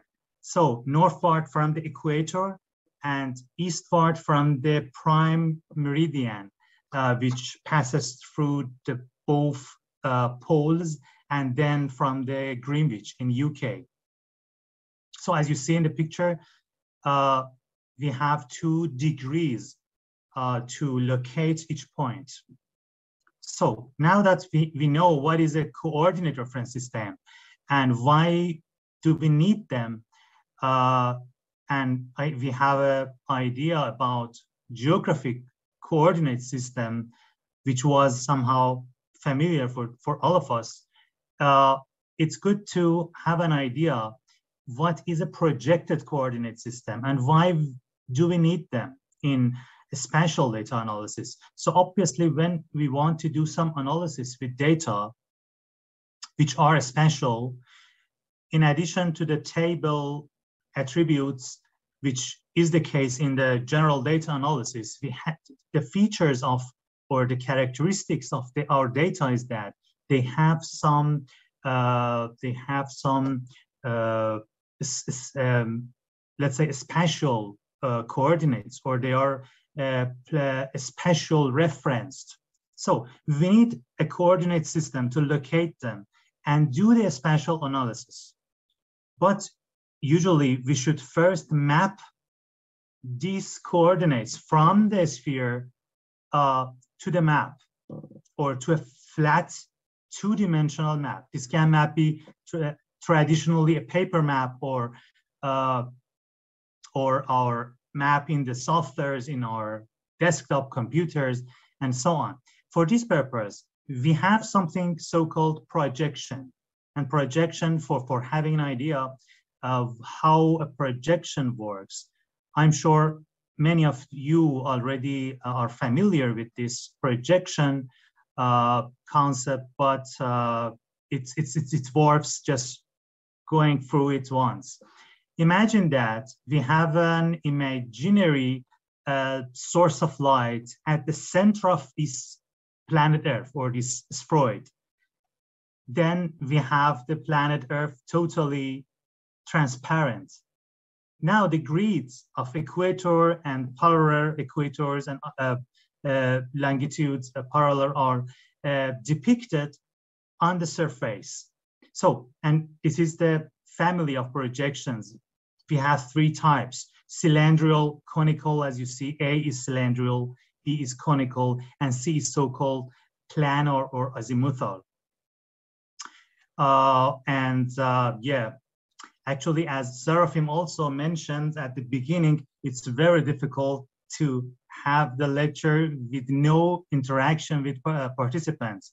As also I have this, uh, I, I, got I got used to uh, having the interaction with the audience, and I set my speed and change everything uh, based on the feedbacks. But now I have nothing. But it's, it's really difficult.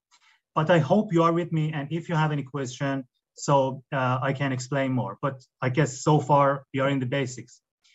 Uh, then, and the most important one, which I want you to, to, to focus on is the cylindrical, which uh, is more useful for uh, distance uh, measurements and analysis, but others also are good for different purposes. And uh, so, in fact, we go from the three-dimensional uh, let's say, space to two-dimensional with this, with this projection. Let's go forward. And this is one type of, or I can say the most famous uh, co uh, projected coordinate system, which is Universal Transverse Mercator, uh, as a CRS, as a coordinate system, but as a uh, projected coordinate system. It is the more common, the most common uh, project, projected uh, coordinate system around the world. And the reason is that it is precise for each zones. So one problem with UTM as a as a kind of cylindrical. Uh, uh, Amir, sorry, yes. uh, your slides are not uh, moving. Maybe you're not on presentation mode. Is it uh, is it now in the UTM slide or not? No, no, it's not.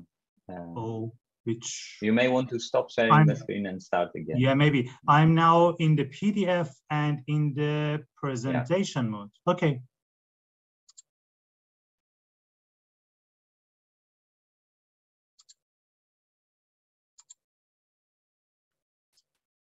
What about now? Is still the same problem, Seraphim? sorry, I I don't think I can see your slides. Okay. Now everything yeah, should be okay. Yeah, it's working. Okay. Thank okay. Okay. So now the slides are changing, true? Yeah, yeah. Okay. Yeah, everything works fine. Oh, uh, did, uh, most probably uh, uh, participant didn't see this page, true? Yeah, but they we heard you. So you okay, okay, okay. Yeah, of course. So I just want to uh, repeat that the UTM is one of the cylindrical uh, coordinate, projected coordinate systems. And uh, so one problem with uh, cylindrical uh, coordinates, projected coordinate system is that as we go further from the point that uh, this, this, let's say, paper touches the sphere, uh, we have the more distortion. Here, the, the paper touches the sphere at the equator, but it can touch the sphere in any point. So as a result, the idea behind UTM is that it's divided into 60 different equal zones. Each one is 60 degree.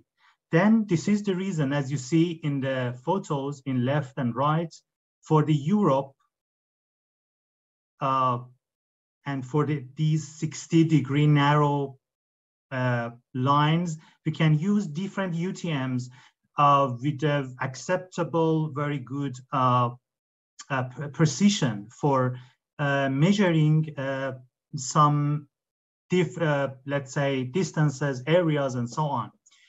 And uh, yeah, and actually, one thing is that, as I mentioned, in the geographic coordinate system, before projection, we have degrees, but now we have met meters for our measurements, and we need this, and you will see in this in the exercise in some minutes that uh, why we need this uh, meter for our uh, for our statistical uh, spatial analysis. So, and uh, let's go to geoprocessing tools. I don't go in more details about the buffer and so on because already Seraphim mentioned them, and as we are uh, we do not have enough time, it would be a bit repeating and so but geoprocessing tools are those tools and uh, process, pro processes that let us into manipulate data for our own purposes, for our own uh, uh, spatial data analysis uh, goals. And uh, mainly they are based on the concept of overlay. You see here that uh, in, in, the, in most of the geoprocessing tools, we have two layers. First layer is uh, the imported layer, and the second one is uh, overlaid layer. And in intersection, the algorithm behind this in GIS just considered and just keep the intersection, those areas which are within the both polygons, and just uh, consider this as a new polygon. And in union, we have uh, all the areas inside the both polygons, or let's say the both layers in one new, as a one new polygon. And obviously it considers the, uh, the repeated or the intersection only once. And symmetrical difference is somehow obvious what is happening, the intersection is eliminated, and the difference, what, what, what is important about the difference is that uh, in, in other type of overlay, uh, more or less it's not so important. Or if we are not sure of, or we mistakenly uh, select the input layer and over, overlaying layer, uh, we will receive the same result. But in difference, you should care about the importing layer and uh, overlaying layer. So one thing one another thing which is important is that map overlay features have different types. So we already know that uh, in GIS, we have three different geometrical features, points, lines, and polygons. So for, for overlaying, uh, the, the good thing is that we can overlay any of these uh, interchangeably, like point with point even, line, polygon, and uh, polygon with line and so on. So, and also we can count, for example, uh, points inside a polygon. You know, it is something one step further after doing the intersection, after calculating what is within uh, the polygon and what is outside the polygon with respect to the topology in the in the in the logic behind the GIS it starts it starts counting the number of points inside the polygon. So I try to go a bit faster. I do not go uh, in detail about the buffer. Uh, only thing maybe to add is that the logic behind the buffer for the software and for the, for the algorithm, algorithm behind this buffer is to divide the whole map uh, with, with two in two groups in two classes those regions outside the polygon of the sphere uh, buffer seraphim has already uh, mentioned that buffer is a polygon. If we, we buffer around the points or multi um, uh, multi multi-line or uh, sorry poly, uh, polyline or polygons no difference. We will have some areas some polygons. So it will uh, separate which areas are inside this polygon and which areas are outside the polygon. one other thing uh, which I believe uh, uh, Seraphim also mentioned is that these buffers can be remained intact or uh, or be uh, dissolved. In the left, you can see the dissolved buffers, and here the buffers are uh, in the right, buffers are remained intact. So why do we need this? You know, sometimes we care about the intersection areas. For example, we want to know or we want to uh, treat these intersected areas differently. For, for, uh, for example, we may need to see what residential areas in a city uh, have services or can receive or can be served uh, services from two different, at least, I mean, more than at least two, or let's say more than one service uh, center, then we should let them be. Otherwise, or in the case that we only care about, uh, let's say, uh, safety buffer about around the residential areas, we want to know that which is the buffer that outside this buffer we are allowed to do some construction, let's say. Then we, we can use these dissolved areas. And uh, these are other examples of uh, the, the, importance of buffer and why I selected a buffer for you for the ex exercise that in some minutes you will start. Uh, so for protected zones, safety buffers, like here around the buildings or for catchment areas, Seraphim already mentioned these. So uh, I try to, hopefully if Zoom does not crash, I will uh, stop sharing and so now you should be able to see me again. Yes. And now I'm trying to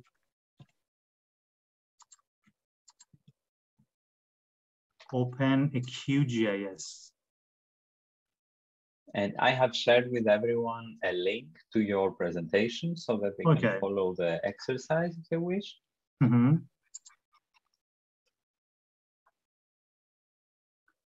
So I guess now you should be able to see uh, one QGIS project. Yes, we see okay. the air, okay. airplanes. okay, yeah but uh, we should delete them as we do not need them. Why save? No. No. Okay. Discard. So you should start. Let, let me also have my presentation to do not miss anything here.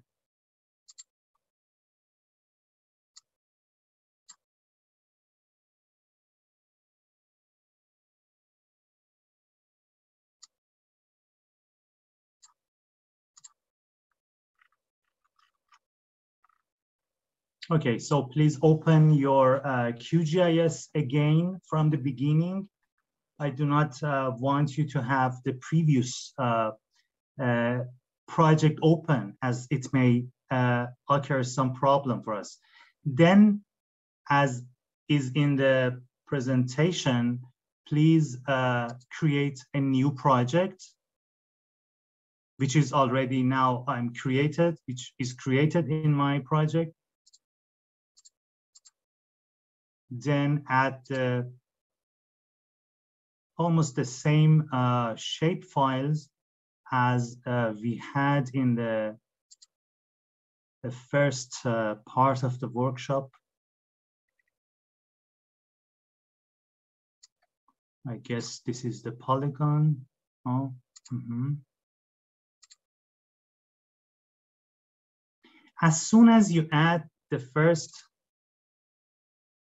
uh, layer, the project will uh, be automatically set to the CRS of that layer. So now, because this polygon has the, uh, maybe you, you see this EPSG here, uh, as we have, uh, as, as our layer had this projection or CRS, let's say, coordinate system, we have now uh, the, the, projection, the, whole project in the same uh, CRS. Do not close uh, the data source manager and continue adding. Now you can add the airport shapefile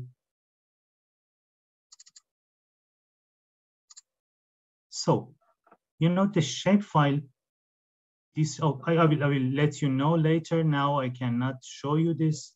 And what else? We also need the centroids. There should be this. No,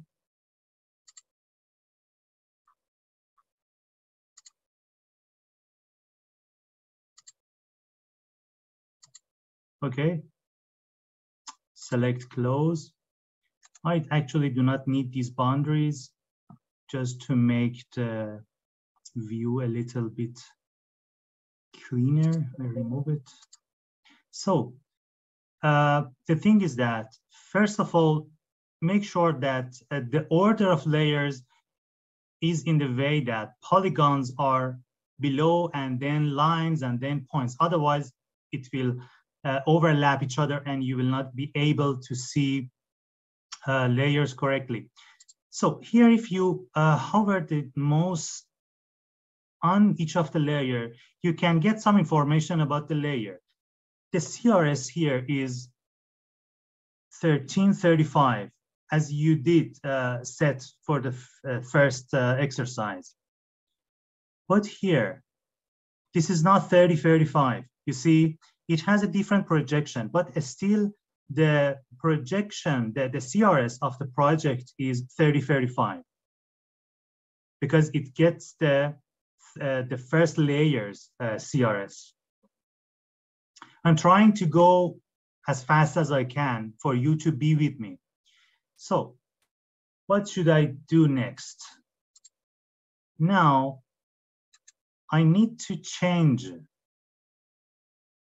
to uh, change the CRS, but uh, I need to save and make a copy of this shapefile, this time with the correct CRS, with the needed CRS. So where is it?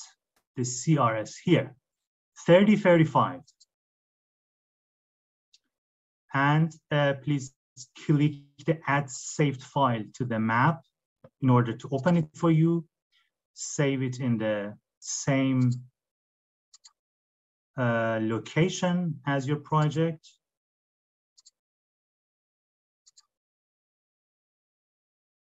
Actually, I do not need the old one, so I just put it here. And to recognize the new shapefile, which you see has the has the 30 35 CRS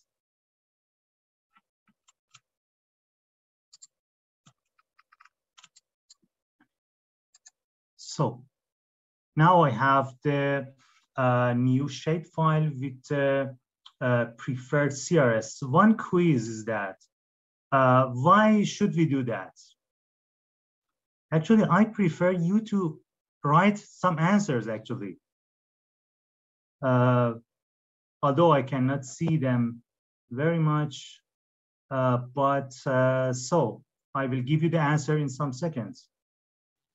Uh, just because uh, Amir, just a second. I I just wanted to clarify one thing because um, the point data. Can you uh, can you point to the nuts point data? Switch all the others off so that people can see.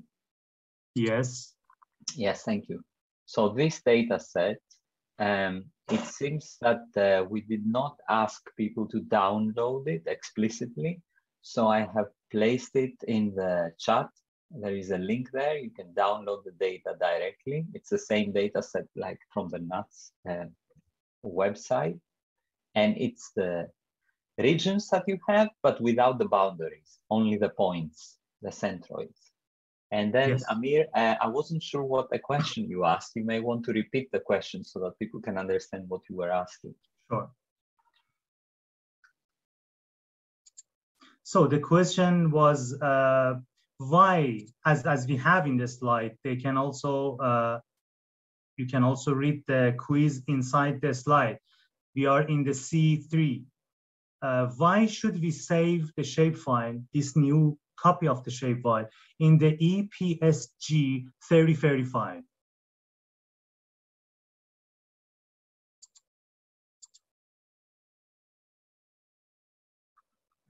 So actually, we should do this as, let us show you something. Now, the next step is that I want to do a buffer around, let me show the airports. These are airports. And I want to do some, to create some uh, buffers inside the vector menu, geoprocessing tool that I already uh, introduced to you. And I, I mentioned the idea uh, behind them and then buffer. Then I want to create a buffer around each of these uh, airports with, let's say, 10 kilometer. But unfortunately, the software does not let me to change it to kilometer. What is the problem? In fact, it is saved in the CRS in a in a kind of CRS which is still using which still uses the degree as I mentioned not the not the meter for the for locate location for locating uh, the points on the planet. This was the reason that we changed it to a projected coordinate system which uses meter you can go also to the property and go to the source and uh, oh sorry to the information and here you should find more information usually about the about the CRS that you selected you can read about uh, CRS, what, what kind of coordinate system uh, you have selected, and uh, you, there is accuracy uh, information for you. At best, one tenth of meters. So you see the, the units is in meter, not in degree. But if you go back to the original shapefile, you will see the units is in, it is a geographic coordinate system and method is latitude and longitude in degree. So now that I have the shapefile in a correct CRS, I would like to change the symbology in order to have a better uh, and clear map. But for you, if you do not have the topo airport here, you should uh, open the, let me do it again. You should click on the layer, then properties, then sim select symbology. And here, select the topology. You can also select all symbols, but topology will show you uh, the only uh, topology uh, class uh, symbols. Then you can simply select the symbol and apply. Okay, so you see now, again, the, the airplanes are back in our map. So to be honest, I don't like the color of the NUTS regions. To have a more clear map, I also click on the layer property, I go to symbology and I change the color here. So maybe something a bit lighter is a good background for our purpose. So now you see airports inside lands. Also, if you like, you can go to properties and add label if you are curious to know where are you on the map. And name Latin should show you the uh, area's name. And but this 10 is a big size for your map. Just maybe go to five. If you couldn't do that, or if you uh, do not uh, do not like to have the labels, please skip this. I don't want to add to the complexity uh, of the uh, exercise for you. I guess, uh, yes. And now I have also some information, but very, very small, but you can still read it. So what is the next? The next step already, is we already did the C4, we are in the C5 step. Now we open the attribute table of the airport uh, layer from the attribute table, please go to the icon, this icon, which is select features using an expression.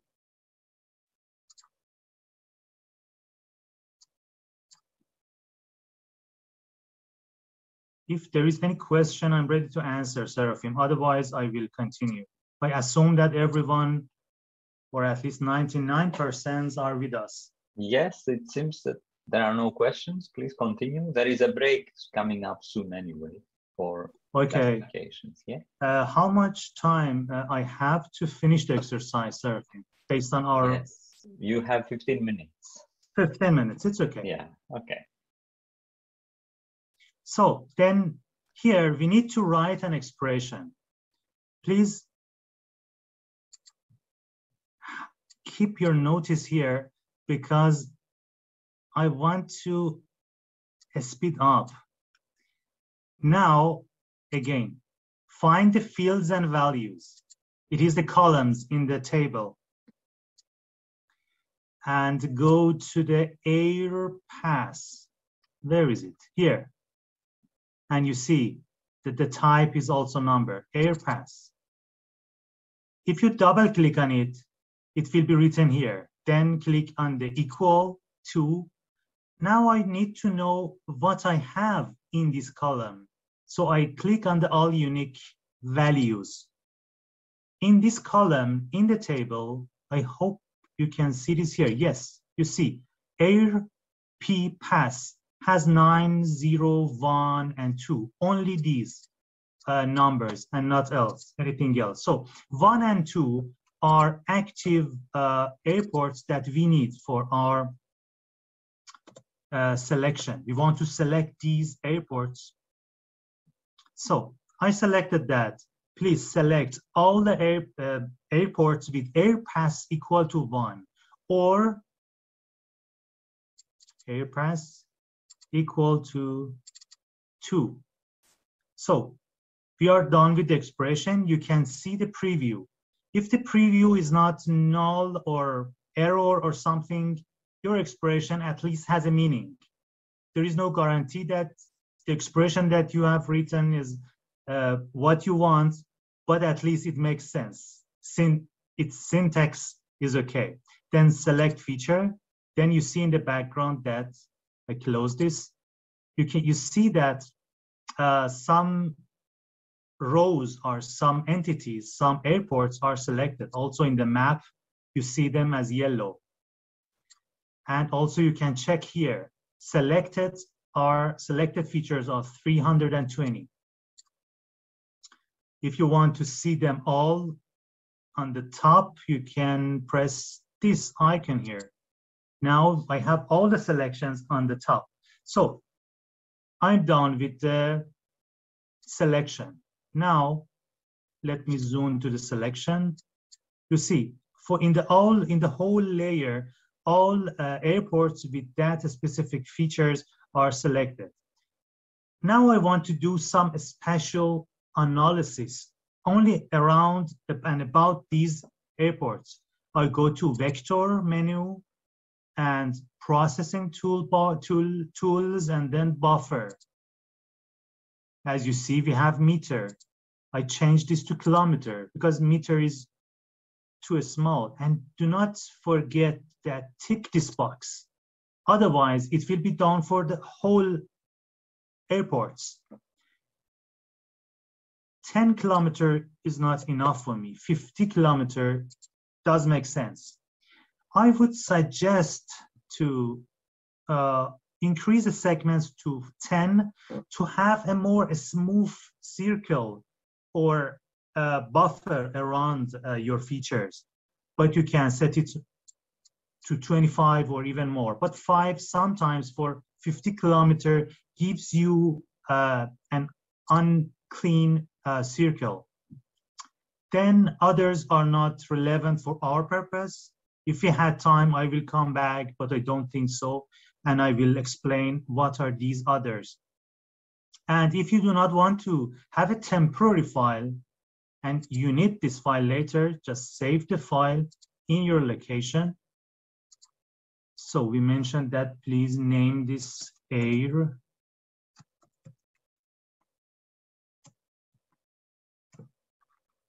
sorry, I guess the name is, so Serafeim, we are already in the second part of the exercise. I'm ah, happy. okay, yes, you're doing well. You may want to, um, when you select, when you enter the file name, just uh, re remind people the kilometers that you entered. Uh, mm -hmm. Yeah. You mean here? Yes, I didn't add the kilometer to the name just not to have a very old uh, name, but we know that 50 kilometer is the reason that we called this uh, shapefile. Okay. So air buffer 50 kilometer is the name. We selected, oh, yes, yes. And yes, because this, this distance has all these zeros, so um, it switched back to meters, you see. Ah, okay. How did it happen? I don't know. okay. uh, then, okay, we are ready, I guess. Nothing else has changed, I guess. We can press the run. So it was very fast. If you would uh, select 10 like 15, it would be a bit longer. Uh, okay, now we have a new shapefile. I do not need these airports anymore, at least for now. I put them there. And uh, now I want to know uh, more about these airports. I want to know that uh, which of these airports are serving uh, multiple NUTS, uh, NUTS regions and what are uh, which of these airports only serve one or two NUTS. So uh, do you have any idea how we can do this based on uh, today's lecture? I would like you to participate in this part. As I said, I do not have any face. I cannot interact with you with the voice and your faces. So it is really difficult, believe me. But, uh, but, but there is a quick question. Um, someone is asking, for example, how would they know what to choose one and two etc and be, because uh, it would be nice to see the attribute table of the airports and of the buffers to see what is in there. Right? So yes, yes. so this is a data set that um, we downloaded. It was available online and it came with a file, a PDF in there that is called metadata. You can have a look at the metadata file that came together. Uh, we don't need to do it now, Amir. And, and in there, these columns, these fields are explained. And we identified that um, what we think are active airports is categories one and two. It is not, it is a dated file. It's not very clear. But from inspecting the map, we figured out that it's probably the right, uh, the right kind of airports. Yes, thank you. Yes, actually, this was uh, something that uh, we also discussed with Serafeim. Yes, and you're right, and thank you, Serafeim, for the explanation. So now you see we have the buffer, and the buffer, it is good to mention that the buffer has the same attribute table as the main uh, uh, layer. The only difference is that this was a point layer and now we have a polygon layer, which is the buffer around each uh, airport. still, I have the same question. Uh, can you tell me how we can we can see? Also, keep in mind that we have the nuts centroids, which are the points which are geometrically center of each nuts area. It makes our analysis much easier. You see, let's go in one of them, maybe it makes sense. Yeah, you see, in the center of each nuts area, we have a centroid. So the way that we can do this is going to vector, obviously because we are today working with vectors, not rasters, which are photos and pixels. Then we go to analysis tools, uh, count points in polygon is the analysis that we need. Let me check if, okay, before going there, I, it's okay, we can continue. Uh, so then we need to count numbers of centroids, number of points inside each buffer. What we should select? First, I should select the polygon and then the line which includes the centroids. This is the centroids. And I didn't select anything, so I cannot click this box here.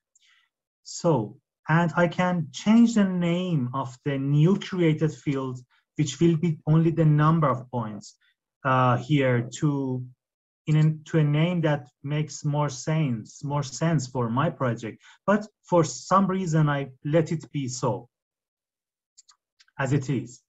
Then I save this in the same way. And what is the proposed name? Air underline count underline nuts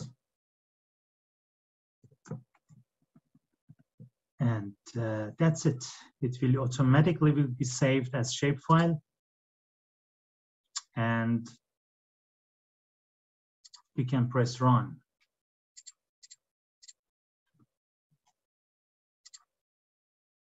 So I have, I, I make other layers disappear just uh, to show what we have, what we created we had this air buffer 50 and now we created a new layer and we saved it. It's not a temporary file. Uh, and the attribute table is exactly the same as the buffer shapefile with one extra column, which is the num, num points or the number of points inside each area, each, each buffer. Uh, maybe I'm not satisfied with the naming. What we can do in the next slide in the C11, or now actually C10. In the C10, I'm, I describe this. You can go to properties and to the fields, click to the uh, and toggle the editing mode Otherwise, you cannot edit the shapefile and the attribute table. You should let the software to do this. Then you can change the name to num underline nuts. Number of nuts, maybe. Apply. Again, please toggle the editing mode, otherwise it will not be saved. And apply and okay. Now open the attribute table.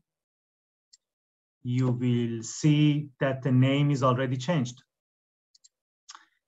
I only have, I guess, something around five minutes. And what we should do next is C11, symbology.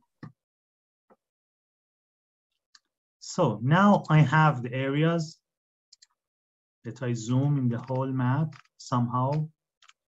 Here is the whole map. And uh, I have these uh, airports but this time with uh, some infor new information. We know that which airport uh, serves to how many how how how many NUTS NUTS regions. I go to properties, then symbology. I select graduated. Uh, there is a question here. I want you to think while I'm doing it, and after that I will answer. Why not categorized and why graduated? Which one is correct and why we should select this? And then select the value of number NUTS, number of NUTS.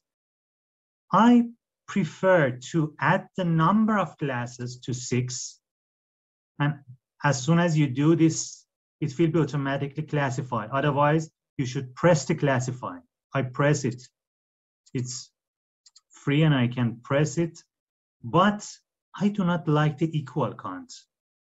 For some reasons, I like natural breaks. Natural breaks gives me more uh, realistic or not realistic, more uh, more appropriate uh, breaks to the purpose of my project. You can see the differences.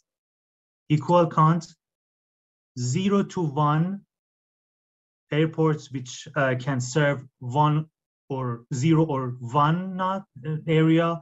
And at last we have seven to 38 it's not so much information for me, but natural breaks gives me a more uh, useful categorization.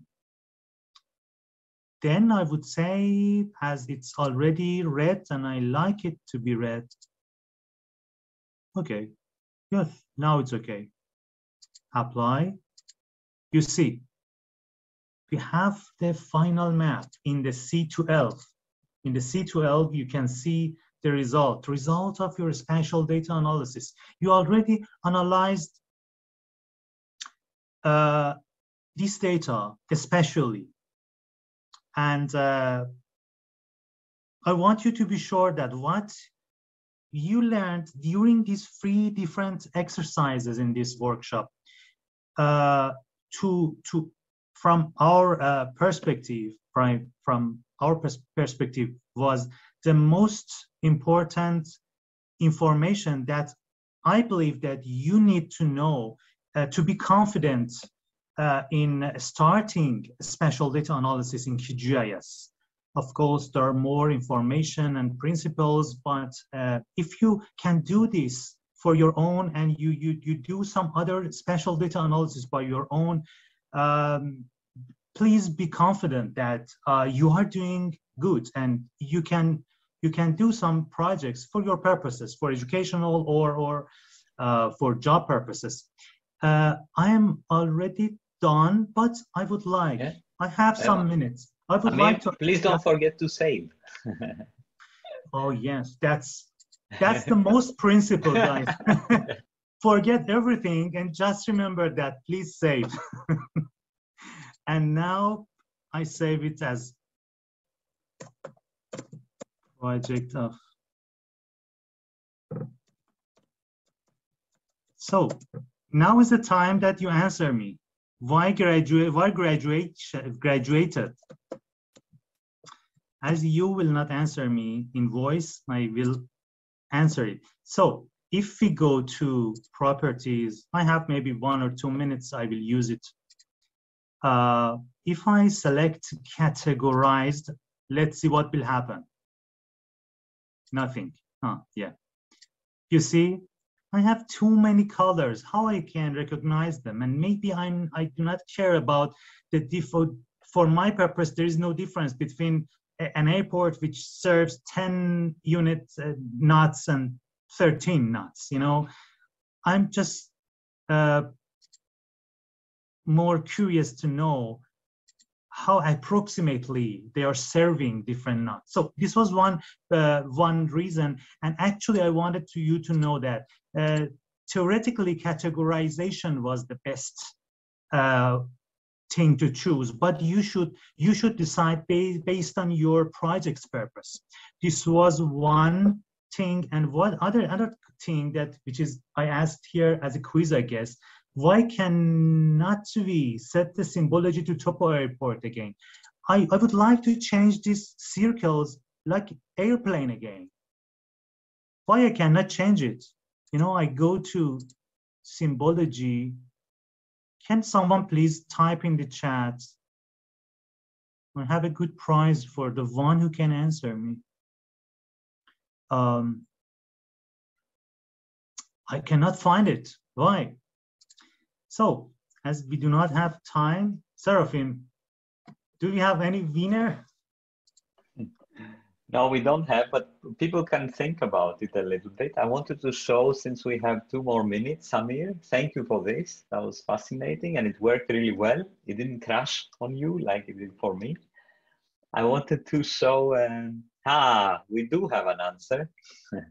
Really? um, because they are not points, but because I'm not allowed to tell names, to say names because it's recorded, then I will not say who wins. Uh, they are polygons and airplanes are the symbols for points. So it's a point symbol. And what we are mapping, the buffers are polygons.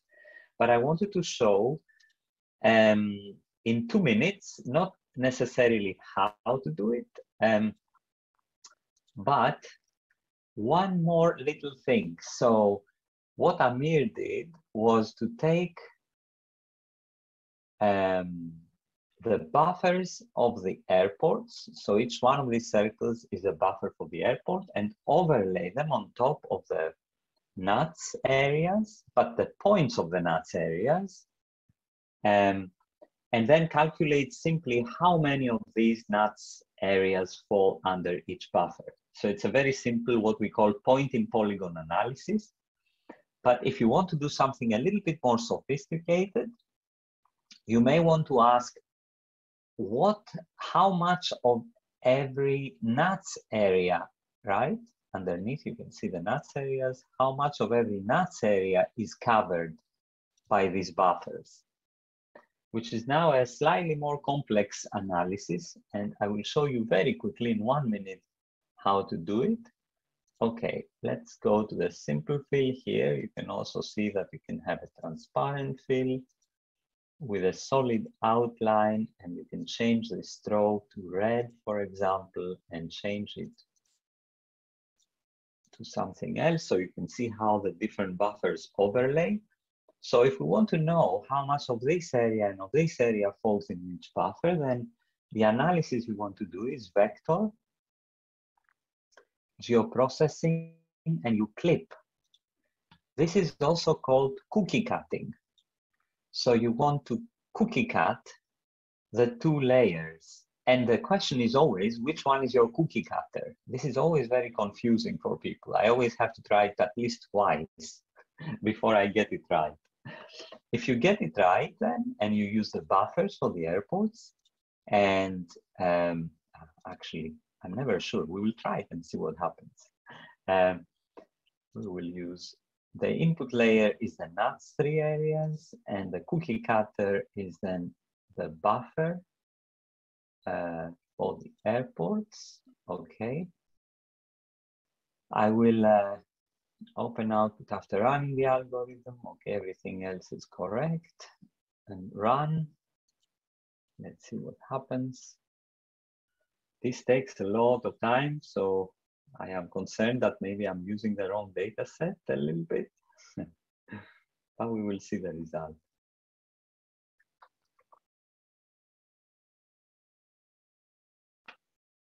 Okay, it works. So you can see now why it's called cookie cutting. If you switch off all the other layers, there you go, your cookies.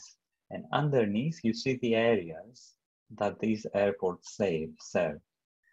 The other thing I think I did as I was clipping, I dissolved the boundaries of the airports. You can see they were overlapping and now they are not. If I go here and select one of the circles, for example, okay, this worked, this worked, so they are independent there. And then it tells you also which buffer they fall in. So this is another way of doing this analysis. I tried it as well here. There you go. Without dissolving the areas, and you can see how the different areas overlap. So in this case, if we select one of these circles, we know which areas underneath and what percentage of the area falls in. Okay, I will stop sharing my screen here.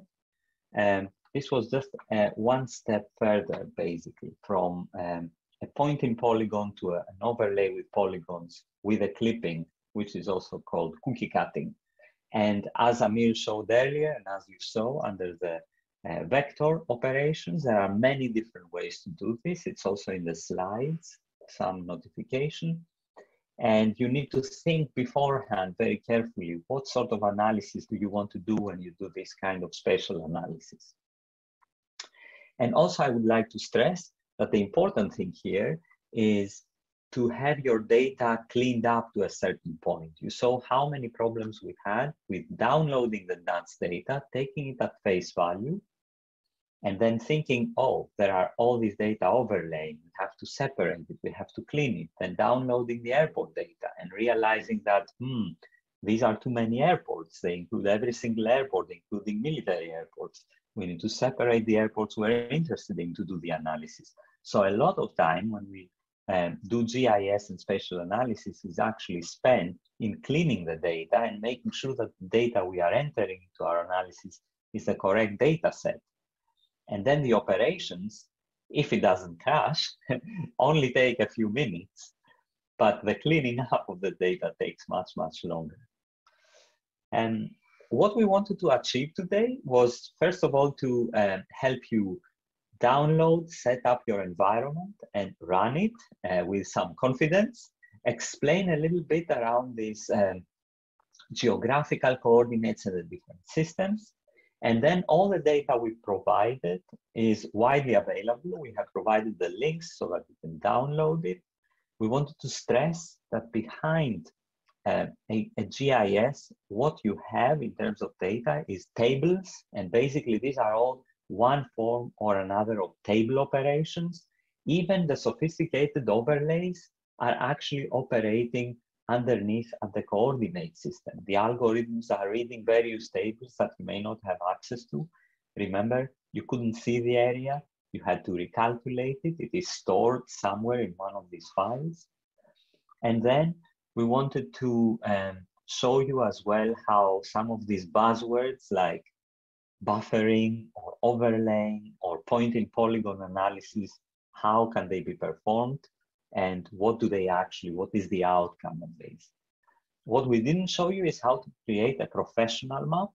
This is all maps um, on the fly created. You can save your project, but um, if you want to create a professional map for publications, etc., you need to follow uh, the slide I have there where you create a layout.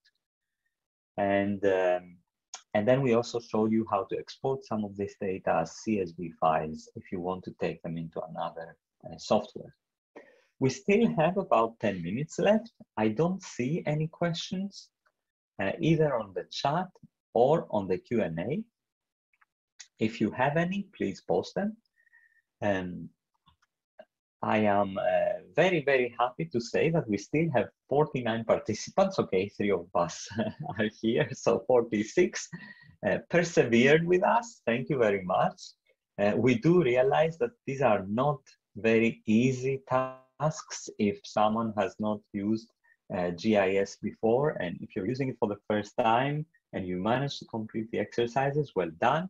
If not, the material will be posted to you. Um, and then your data will be deleted. You will not retain your data unless you requested to join the newsletter. So uh, stay assured that we will not uh, use your data for commercial purposes or anything. We just want to communicate with, um, with you the, the training material. Uh, there is a question there because we insisted on all these CRS 3035, etc. You need to do a little bit of reading around this. This was European level data. The 3035 CRS is a good one because when you cover the whole of Europe, if you focus in specific countries, you need to think uh, which which ones to use. usually or sometimes the metadata of the data you download tells you which um, is the best projection system to use. Um, okay, uh, how did you know that the area of the first exercise was in meters? That's another good question. Uh, the area of the first exercise.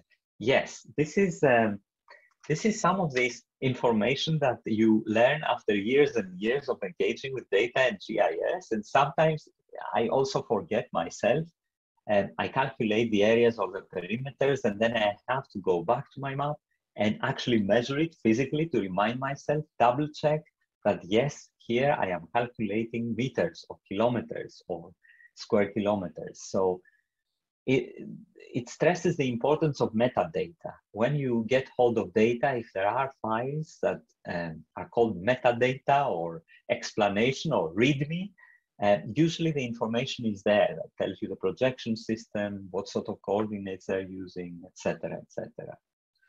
Um, so yes, and always double check. Remember how many times I opened the attribute table, Amir as well. We, we, we keep all the operations we do, we open the attribute table to check that things happen the way we were expecting them to happen. If something doesn't look right, either QGIS will crash if you ask something very complicated, or it will not look right in the in the attribute table.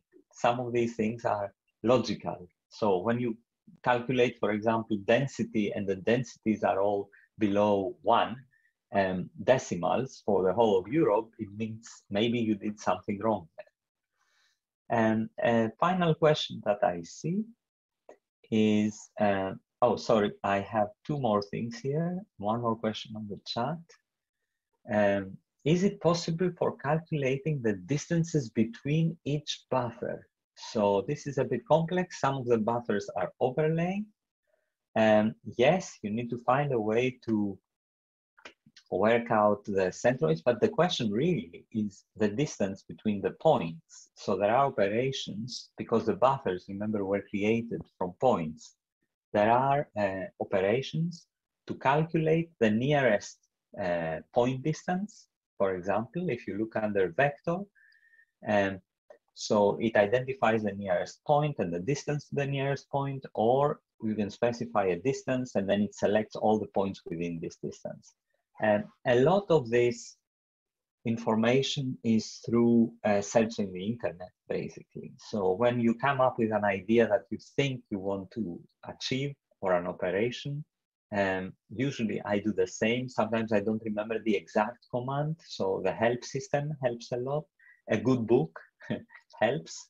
Um, I can recommend, I will add in my uh, final version of the slides a couple of good books for QGIS, the help system that is online, the material online for QGIS is very good, the training material. And uh, many of these things you need to think about what do I want to do and then how to express it and find the right answer.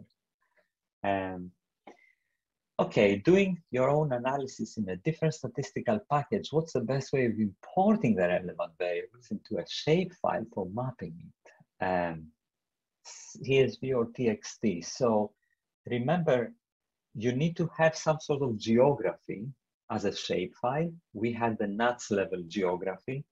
In other contexts, you may have different types of geography. I showed you examples, for example, with school locations or with uh, districts of school, school districts um, in one of my examples. So a lot depends on what sort of shapefile you have or other geographical file for the geographical information and so that you can then save the analysis that you have done, remember, with some sort of unique identifier so that you can then match it. And I save things as CSV. CSV is a text format.